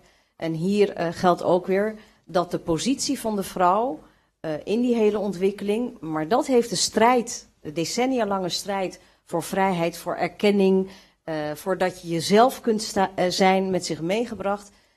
Ja, dat die, dat die vrouw daadwerkelijk gelijk is of gelijkwaardig is aan die man. En dat toont zich ook in de strijdende vrouwen, of dat, je, of dat nou de Peshmerga is of de guerrilla-strijdster. Laten we twee vragen en dan moeten we echt naar onze... Ja, eh, twee vragen. Verzamelen dan achter elkaar, ja? Ja, mijn vraag is hier, wederom maak je, de, kom- eh, maak je geen onderscheid tussen de Koerdische bewegingen in Irak en in Syrië, eh, Turkije. Want als we het hebben over positie van de vrouwen of positie van de staat, zijn dat twee compleet verschillende posities. Turkije hebben local burgemeesters. Vice eh, co-presidentschappen in Irak is dat niet het geval. Mhm. En het wordt weer gepresenteerd of dat het éénzelfde beweging is. Nee hoor, ik had het over Turkije en... eh, Nee, je had het over Koerdistan. Ik, eh, ik had het over de- deze laatste ontwikkeling over eh, de Koerden in Syrië en Turkije. Waar ik recent ben geweest. Oké, we hebben hier nog één vraag en volgens mij kijk je nog een beetje ontevreden. Dat is voor de bar. Ehm, ik vroeg me af, eh, die beelden die we zien van, van meisjes die vechten bij de Peshmerga. Ik kan helemaal niet inschatten hoe, wat voor... Dat zijn de guerrilla's. Dat zijn de guerrilla's. Oké, nou goed. De beelden van Koerdische vrouwen die militaire strijd leveren. ehm, wat voor percentage is dat binnen, binnen de strijdende eh, groepen? En ook hoe verhoudt zich dat tot de verhalen eh, over bijvoorbeeld vergaande eerwraak, eh, ontzettend conservatieve eh, tradities binnen de Koerdische ehm, maatschappij. Ik werk voor HIVOS. Wij werken met een aantal vrouwenorganisaties in Koerdistan. Die zeggen allemaal het grootste probleem voor hun, ik bedoel buiten de crisissituatie nu in de regio, is het ontzettend vergaande geweld eh, tegen vrouwen en seksueel geweld. En ho- hoe verhoudt zich dat? Is dat beeld dat nu wordt geschetst van inderdaad, zoals eh Sadit net ook zei, hè, werkelijke emancipatie, hoe realistisch is dat? Ja, Michiel, jij hebt ook eh, eigenlijk iets over gezegd, hè? Over eh verislamisering van de maatschappij. En ik zag je op dat moment knikken toen hij zijn praatje hield. Oké, maar ik denk dat je Ja, daar denk- het van geweld tegen vrouwen... Ja, ja, ja, ja. Oh jee, wat Oh, ja, heb ik nou ja. weer gedaan? Dus dat lijkt mij dan paradoxaal of ingewikkeld. Ja, oké, de, thematiek van, eh, van gender en gendergeweld in het Midden-Oosten, dat is iets waar eigenlijk eh, twee aparte avonden voor zouden moeten beleggen. Het is, Ja. het is buitengewoon tragisch, maar eh, op dit moment is in Iraaks-Koerdistan inderdaad een heel groot en schrijnend probleem geweld tegen vrouwen. Ehm, vergeleken met Turks-Koerdistan is het, ook, is het ook heel anders in elkaar.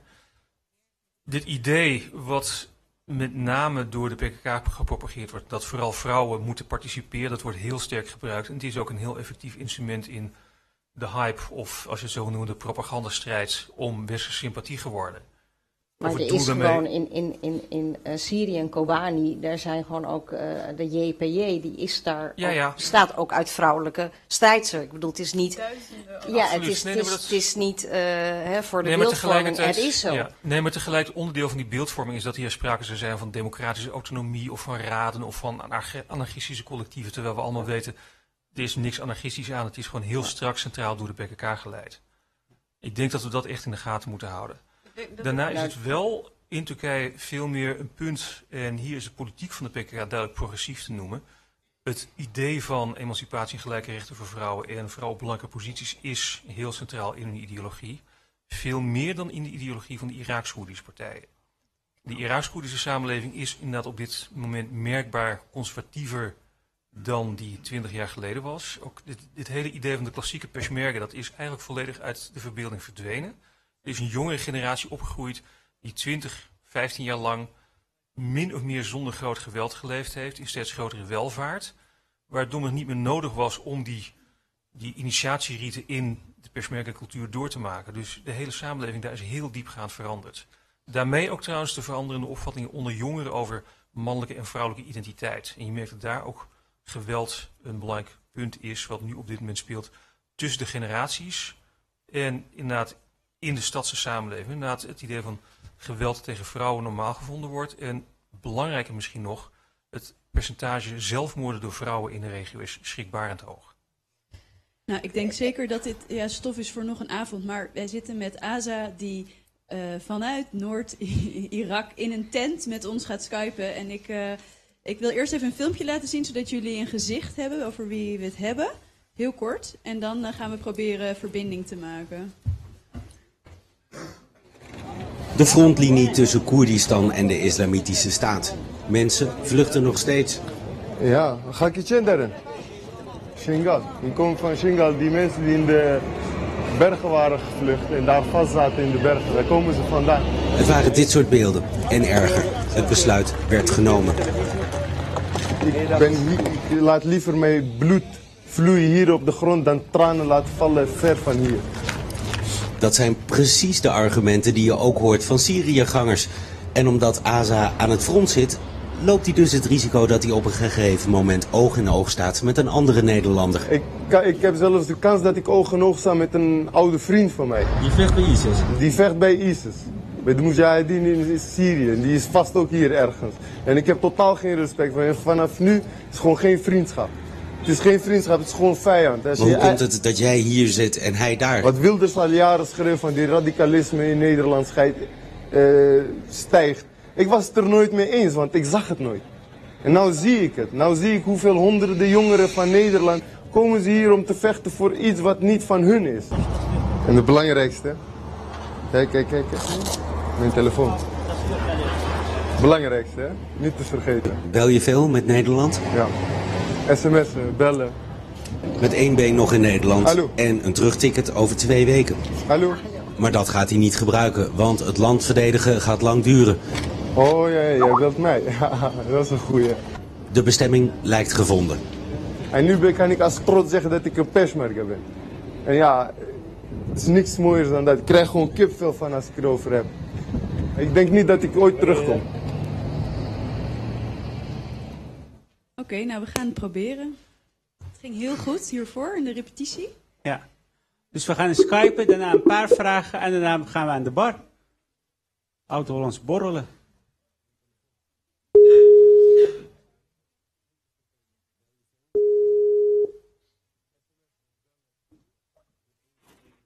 Hallo. Hi Aza. Je bent live in de Bali. Goedenavond. Wat fijn dat je tot. Eh 12 uur s'nachts op ons hebt eh, willen wachten. Hi, oh, Ja, we zien je ja, ook. ik Dat moet sowieso wakker blijven. Ja. Kan je iets eh, aan ons vertellen waar je nu bent? eh, zowel geografisch, maar ook eh, letterlijk waar je nu bent? Ik ben in zo'n dorpje genaamd Mascara. En dat is eh, bij de Dam van Mossel in de buurt.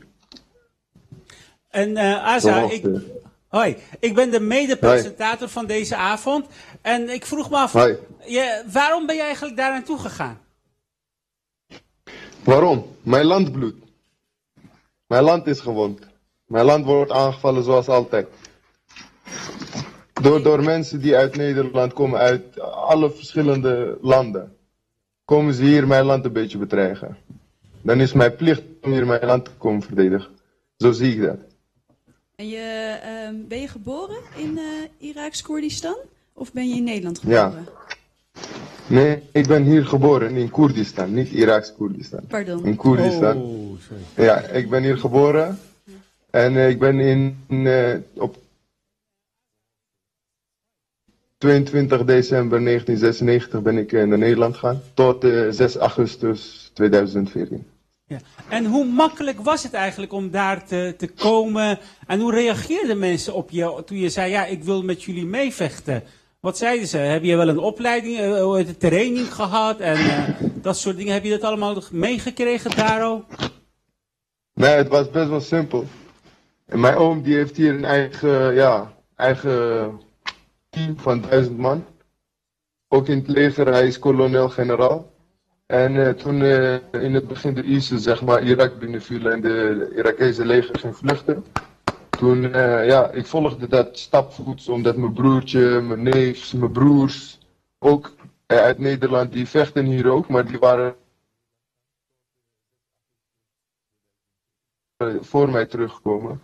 En ik van afstand maar volgen op nieuws en dit. Ik kon me niet meer concentreren op school, op niks meer. Eén focus was gewoon oorlog. Mijn familie in oorlog, mijn land heeft oorlog. En ja, een gegeven moment, mijn vader, ik zeg, je moet mijn ticket opsturen. Hij zegt, je moet wachten. Als, als de ons aanvallen, dan mag je pas terugkomen. En ja, de eerste dag dat we gingen aanvallen, Schengen hebben gepakt en zo. De dam van Moesel, toen ben ik eh, op 6 augustus heb ik mijn ticket eh, zeg maar, eh, gebruikt en ben ik teruggekomen. En eenmaal terug ben ik twee dagen bij familieleden gebleven. En eh, ben ik met- met de wapen van mijn vader en magazijnen van mijn vader ben ik naar het front gegaan. En daar heb ik inmiddels mijn eigen wapen. Het is eigendom geweest van, de, van een van de ISIS-personen. Het is eigenlijk een beetje trots dat ik een van hun wapens draag. En hun afgepakt, zeg maar. En voel, voel- voelde je je ook meteen een, eh een Peshmerga-strijder? Of is dat een identiteit die je langzaam hebt aangemeten? Peshmerga is als jij zeg maar de dood in het oog kijkt. In de front of death is het. Gewoon letterlijk vertaald. In de front van dood, dus in de oog van dood kijken. En dat ben je zodra je aan de front zit. Zodra je lege kleren met Koerdisch vlag op je borst. Zie je, ik weet niet of jullie het kunnen zien. Snap je, zodra je dat hebt en je bent tussen je volk, tussen je familie. En je strijdt voor je land, dan ben je gewoon standaard Peshmerga. Zelfs mensen die nu in het buitenland zijn, demonstreren en proberen mensen duidelijk te maken wat nou wat, wat Koerden zijn, dat zijn ook Peshmerga's. Peshmerga's zijn mensen die strijden voor de Koerden. Asa, Of, of- ja. de la- mijn laatste vraag is, eh, er zit een eh, Kamerlid, een tweede eh, Kamerlid. Ja, lid, ja, lid van de Tweede Kamer in ons, in ons, in ons midden. En ik vroeg me Oh. af, ehm, heb je een boodschap voor haar? Of weet je, die zei misschien Van de eventueel... SP. Wat zeg je? Van de SP. Ja, van de SP inderdaad, ja, ja, ja. Kan. Wil, wil je haar iets zeggen wat zij misschien eventueel aan de, aan de overheid kan doorgeven? Wat verwacht je van de Nederlandse overheid, Asa? Ik verwacht volle steun van hen. Ja, wat betekent anders. dat? Ik heb in, wat dat betekent? Dat betekent dat ze hier gewoon mensen moeten sturen, ons trainen en gewoon eh, helpen met onafhankelijk worden. Is genoeg geweest. We zijn altijd onderdrukt. We zijn altijd onder andere mensen hebben geleefd. Het moet gewoon een einde aankomen. Gun ons ons vrijheid. Kom ons helpen hier. Ik heb Ja, ze de- doen het al met vliegtuigen. En eh, je hoeft niet bang te zijn dat wij opeens terroristen worden. We zijn het nooit geweest. We zullen het nooit worden. We strijden voor de hele mensheid hier. En Aza, ben je van plan om eh, op een gegeven moment weer terug naar Nederland te komen? En denk je dat dat nog eh, een probleem zou kunnen zijn met, eh, als je bedenkt hoe de IS-jongens eh, zullen worden ontvangen in Nederland? Heb je daarover nagedacht? Ik heb erop nagedacht. De vraag is of ik überhaupt terugkom, weet je. Ik weet niet of ik morgen ga. Maar als ik, eh, als God is groot, als ik kans krijg, kom ik daar zeker op vakantie. Ik, eh, ik, heb, zo, ik heb zo mijn plannen om na, na nieuwjaar een keer even langs te komen. Hopelijk te begroeten, want ik ben plotseling weggegaan. Zonder doei zeggen en zonder eh, stress, zeg maar. Ja. Ik ben gewoon in het vliegtuig en weg. Dus ik heb veel en doei kunnen zeggen. Die kijken misschien zelfs mee. En eh, ik wil uiteindelijk wel op vakantie terugkomen om gewoon eventjes Nederland gewoon weer te zien. Maar dan als een vakantiebestemming. En eh, ik hoorde als laatste, ehm, eh, voor, als we gaan afsluiten, dat eh Regga is hier in de zaal, die heeft opgetreden. En dat jij graag nog Ja. even iets tegen Regga wou zeggen. Ja, ja, hij moet zijn album afmaken. Ik heb vroeger heel veel geluisterd naar zijn, naar zijn raps. En zijn paar teksten wat mij zijn bijgebleven. En een van de dingen zijn, hoe kunnen wij iets stelen wat altijd van ons is geweest? Ken, weet hij waar ik het over heb? Hij zit heel erg te knikken. Ja. Hij is Ja, fan maak van die jou, tekst zegt af, hij. man. Ja, die dreigt een beetje een soort neefjes een onder elkaar te te worden. Eh, Ja. Wij gaan straks naar de ene bar, maar we maken voor jullie een klein barretje. En dan kunnen jullie eh, via de Skype-verbinding eh, verder praten. Ehm Aza, ik denk dat we alleen maar eh, succes kunnen wensen. Dankjewel. En eh, f- nou, dank dat je hier ons je verhaal wou vertellen. Graag gedaan, altijd. Dag. Graag gedaan. Dag.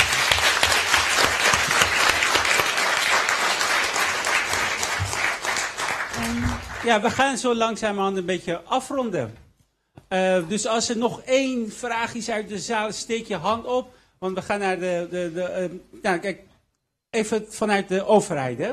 Naar zo'n jongen als. Je hebt het verhaal gehoord.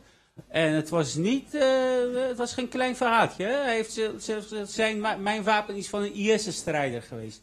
Wat voor behandeling ver- eh, krijgt hij als hij naar Nederland komt? Overheidswegen. Iedereen vindt hem hier, hier te gek. Maar overheidswegen kan het anders zijn. Hebben jullie daarover nagedacht? Eh, ja, ik ga ervan uit dat hij eh, gewoon naar Nederland kan komen. En ehm, eh, ik weet natuurlijk niet wat zijn status is, wat zijn specifieke situatie is, wat zijn achtergrond is. Maar deze jongeren die, hebben natuurlijk een plek en die moeten dat houden. Dus anders dan IS. Hij wordt anders behandeld dan, dan jongens die. Nou, ja, ik bedoel, Ja, dit ja. kun je niet gelijk schaden Oké, met, nee, eh, met IS'ers. Nederlandse jongeren mogen dus waar ter, ook ter wereld vechten als dat niet in strijd is met een Nederlands doel. Eh, nou, uiteindelijk gaan mensen natuurlijk zelf over waar ze naartoe gaan en hoe ze vechten. En eh, daar hebben wij allerlei eh, wetten en regels voor binnen die eh, perken. Alleen, ja, we zitten natuurlijk wel met een eh, probleem. Eh, het eerste probleem is, en dat is met name problematisch, omdat hier jongeren eh, naar Al-Nusra en IS trekken. Eh, en twee, op het moment dat zij terugkomen of terug zouden willen komen, dan moet je daarmee eh, wat mee. Dus, nou ja, goed, daar wordt heel druk over gediscussieerd. Ik heb niet het gevoel dat we dat op orde hebben. en dat daar voldoende wordt gedaan. Maar goed, daar hebben we de nodige politieke debatten en discussies over. Ik denk dat we nu... eh, wat- Asa luistert nog altijd mee, heb ik begrepen. Ah, dat- Dus als er mensen zijn die een vraag aan hem willen stellen, kan het nog altijd. Maar we hebben daar één vraag gezien. En eh, ik geef jullie al de Ik laatste doe iets vraag. wat ik nooit doe, maar ik kom er echt niet bij. Ik geef nu gewoon uit handen. Oeh, aan een koert? Vergeet het maar. Hij En loopt... aan wat voor koord? Precies, hij loopt echt figuurlijk met je, met je microfoon weg hoor. Nou, wat ik, wat ik heel erg gemist heb is, eh, er werd heel erg zijdelings over Rojava gesproken, maar eh, volgens mij, eh, we hadden het over de emancipatie van de vrouw. Het, wat in Rojava gebeurt is echt mindblowing. Het is echt fantastisch wat daar gebeurt. In deze krankzinnige regio, waar, waar de vrouw, we, we hebben het net gehoord, waar de vrouw enorm onderdrukt is en is men in Koerdisch Syrië is men een sociaal contract aangegaan. En ik zou heel graag iets meer daarover willen horen. Want ehm, wat een, van de, een van de dingen die daar besloten is, dat 40% van het parlement vrouw moet zijn. En de vrouwen, vrouwen hebben het recht om tot 60% door te gaan, als ze dat zouden willen. Dus ik zou daar iets meer, iets meer, want ik vind het echt zo krankzinnig interessant, maar er wordt iets te weinig daarover verteld. Oké, dat is duidelijk, ja. Wie voelt zich eh, aangesproken om er nog meer voor Rojava op te nemen? Ik wilde, ik wilde nog iets zeggen over eh, de motivatie van eh, vrouwen en meisjes om zich bij de PKK en aanverwante groeperingen, dus ook in Rojava in Syrië aan te sluiten. Dus de meisjes die ik heb ontmoet en die hebben zich met name bij de PKK aangesloten. Dat is voor een deel ook om juist te ontsnappen aan eh, de moeilijke samenleving in eh, Noord-Koerdistan, Zuidoost-Turkije bijvoorbeeld. En ehm, ik, ik weet helaas te weinig van Rojava om daar veel over Nou, te ik, zeggen. ik, ik wil daar. Nou, ik, ik heb daar natuurlijk. Ik heb daar ehm, eh, eh, wel proberen de nodige aandacht aan te geven. Maar je hebt helemaal gelijk, eh Silly. Eh, daar is een gigantische ontwikkeling gaande. Maar ik wil hier toch onderstrepen dat dat komt door de strijd die vrouwen in die regio al decennia voeren. Eh, al decennia lang. Sorry, hij is aan het eh, roken op de Ja, achtergrond. terwijl deze jongen Ja. aan het eh, roken is, Het goede zijn- voorbeeld even over de vrouwenemancipatie.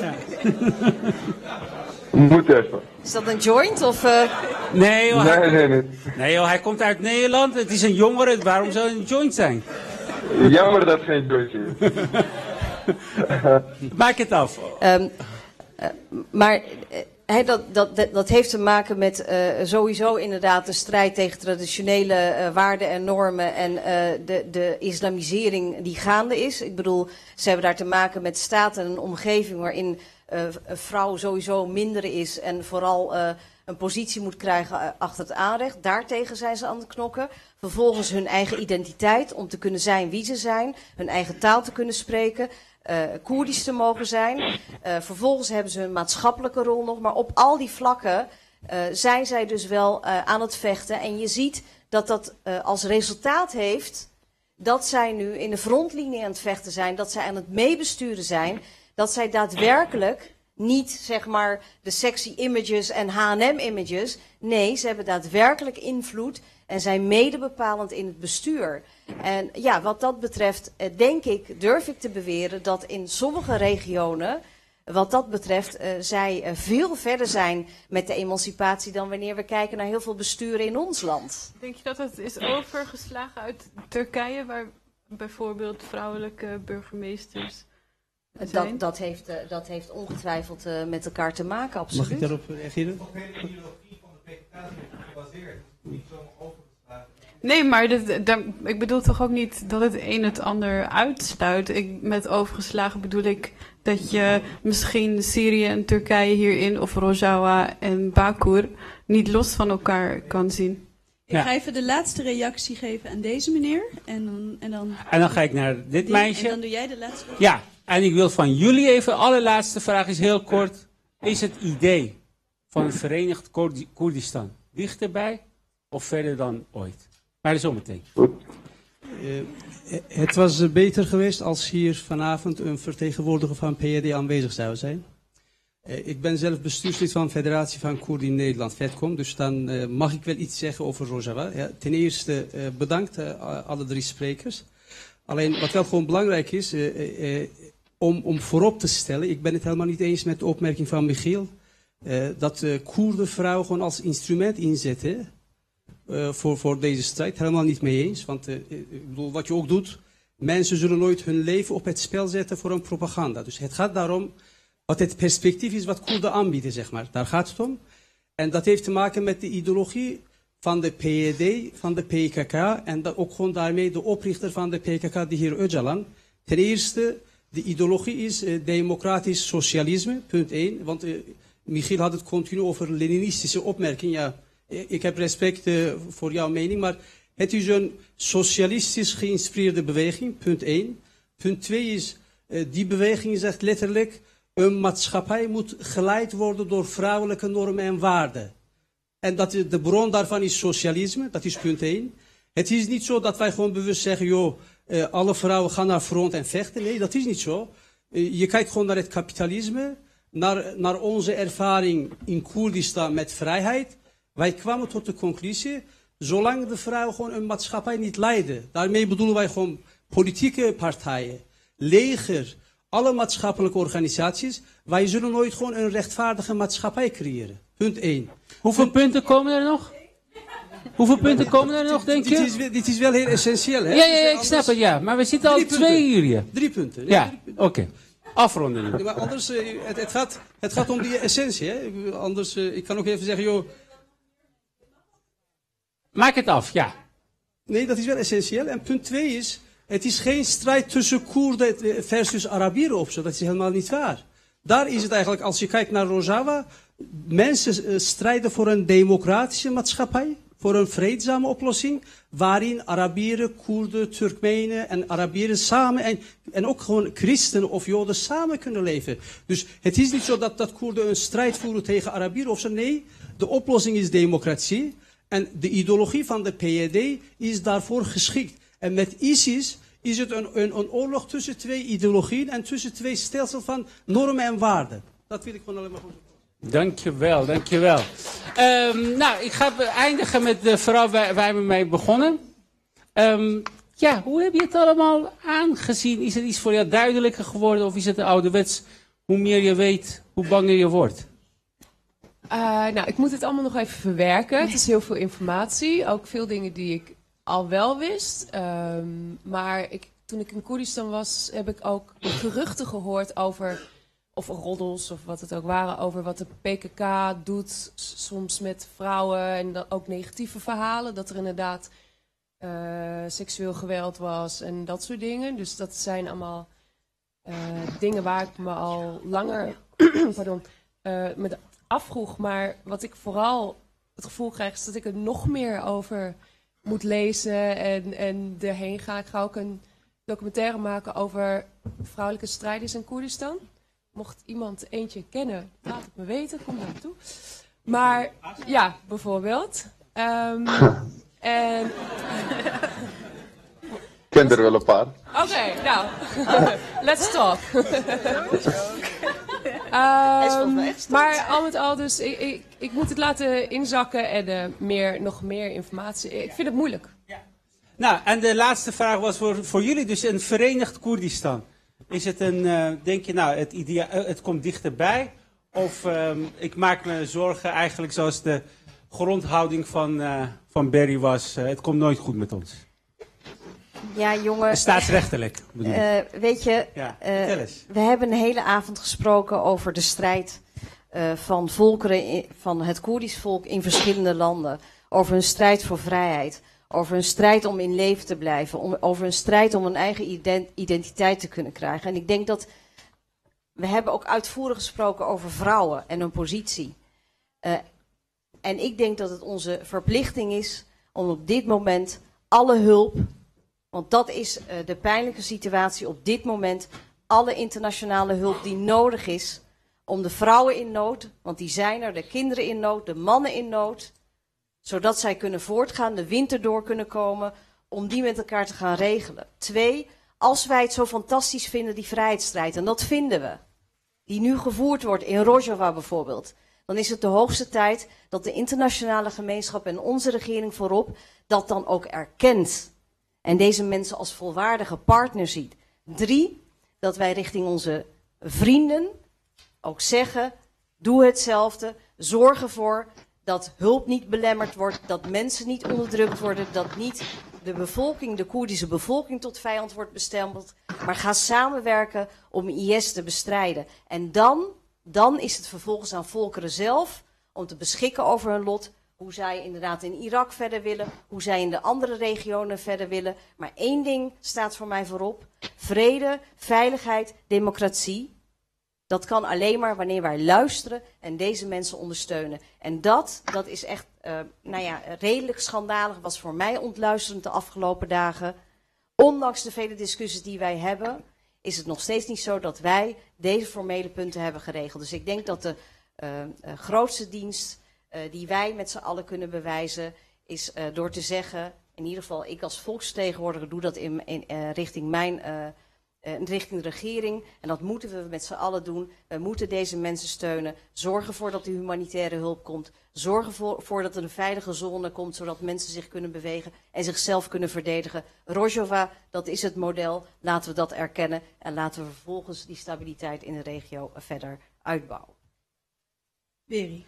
Uh, ik sluit me daar volledig bij aan. Met als toevoeging dat als we het hebben over Koerdistan en of het dan gaat om de droom uh, voor zover die op dit moment relevant is van één grote staat. En ook dan weer, is zijn dat dan federale samenwerking of wat voor vorm je daar ook aan geeft. Is dat als we het ook ideologisch over Koerdistan hebben, dan, en daar hebben we het bewust niet over gehad, want dat maakt de, avond veel te ingewikkeld, uh, gaat het ook over iets wat ook in Iran aan de hand is. En uh, persoonlijk, zolang daar geen vrijheden zijn voor de Koerden, of überhaupt voor wie dan ook in Iran, is er voor mij geen Koerdistan. We hebben nu een klein Koerdistan in Zuid-Koerdistan. En in Rojava uh, is een interessante ontwikkeling aan de hand. Maar uh, er is geen Koerdistan, of geen groot Koerdistan, zonder de vrijheid voor Koerden overal. En dan wil ik daarmee niet zeggen dat ik per se dat allemaal samen wil zien of dat als ideaal model in uh, de huidige samenlevingen daaromheen zien. Maar in ieder geval laten we beginnen met uh, de huidige conflicten en dan hopelijk wordt het leven in Iran op een gegeven moment ook aangenamer. Michiel, ideaal van Verenigd Koerdistan, dichterbij of uh, hou je je hart vast? Het ideaal is er altijd geweest en zal er altijd blijven. De vraag is of het op dit moment politiek en ideologisch dichterbij is gekomen. En ik zie daar niet heel veel concrete aanwijzingen voor. Um, het idee van een democratisch Koerdistan, ik denk dat dat ons ideaal ook is en zou moeten zijn. En het is, als gezegd, onmogelijk om niet onder de indruk te zijn van wat er in Kobani gebeurd is. Uh, het feit dat er voor het eerst bijvoorbeeld moeders in die strijd hebben deelgenomen. Je zag bewapende moeders. Ik heb dat nooit eerder gezien, zelfs niet bij de PK-strijd in Turks-Koerdistan. Tegelijk, tegelijkertijd, en ik denk dat hier een interessant uh, verschil van mening waar we nog lang over door kunnen praten bestaat. Um, het blijft natuurlijk, en in deze omstandigheden is het moeilijk anders voor te stellen. Het is geen democratische situatie zoals we die hier in Europa kennen. Het is een strak geleide militaire organisatie waar de militaire leiders het daadwerkelijk gezag uitoefenen. De suggestie dat hier een soort van bottom-up uh, anarchistisch collectief aan het ontstaan is, dat is aandoenlijk, maar het is niet wat de realiteit op de grond is. Ik heb ook straks al gezegd, het is deel van de PKK-ideologie om dat een pluralistisch, multicultureel uh, bestel na te streven. Dat is lovenswaardig, maar de realiteit is nog altijd dat het een centraal geleide partij is. Als de, de PKK en de PJD werkelijk serieus zijn met deze plannen van democratische autonomie, dan zouden de vredesbesprekingen opengehouden moeten worden met Turkije, in het openbaar. En dan zou ook bijvoorbeeld zouden de andere Syrisch-Koerdische partijen toegelaten moeten worden in deze democratische kantonbesturen. Oké. Helder. Ja, maar de- de- ja, volgens mij is dat ook. eh, eh, wil, wil men ook niets liever eh, ehm, dan open besprekingen en eh, de vredesbesprekingen voortzetten? Alleen er zijn wat belemmeringen. Ja, zou, de PKK En dat is aan, aan weerszijden. Ik wil hier nog wel even benadrukken dat. eh, ik heb zelf een Turks-Koerdische achtergrond, maar zeker voor de hele situatie in Turkije geldt echt dat Turken, Koerden, Alewieten, Soenieten, de bevolking, die leeft natuurlijk al decennia naast elkaar en wil ook samenleven. Alleen dat politieke eh, eh, conflict of de Koerdische kwestie en de gestarte onderhandelingen, ja, dat, eh, dat ehm, is nu in een hele delicate toestand. En eh, nou, volgens mij is het ook kunst dat wij internationaal en ook vanuit de Nederlandse overheid al het mogelijke doen om te zorgen dat dat niet escaleert, maar in tegendeel dat die besprekingen weer opgepakt worden. en de wil is er aan beide zijden. Ik weet dat het borrelt, maar ik ga er daarvoor bij de derde bar voor de borrel waar het borrelt. Ehm, daar gaan wij verder spreken. Ik wil ehm, eh, alle panelleden bedanken. Ik wil ASA bedanken en ik wil Regga bedanken. En ik wil jullie bedanken voor jullie aandacht. Tot de volgende keer in de Bali.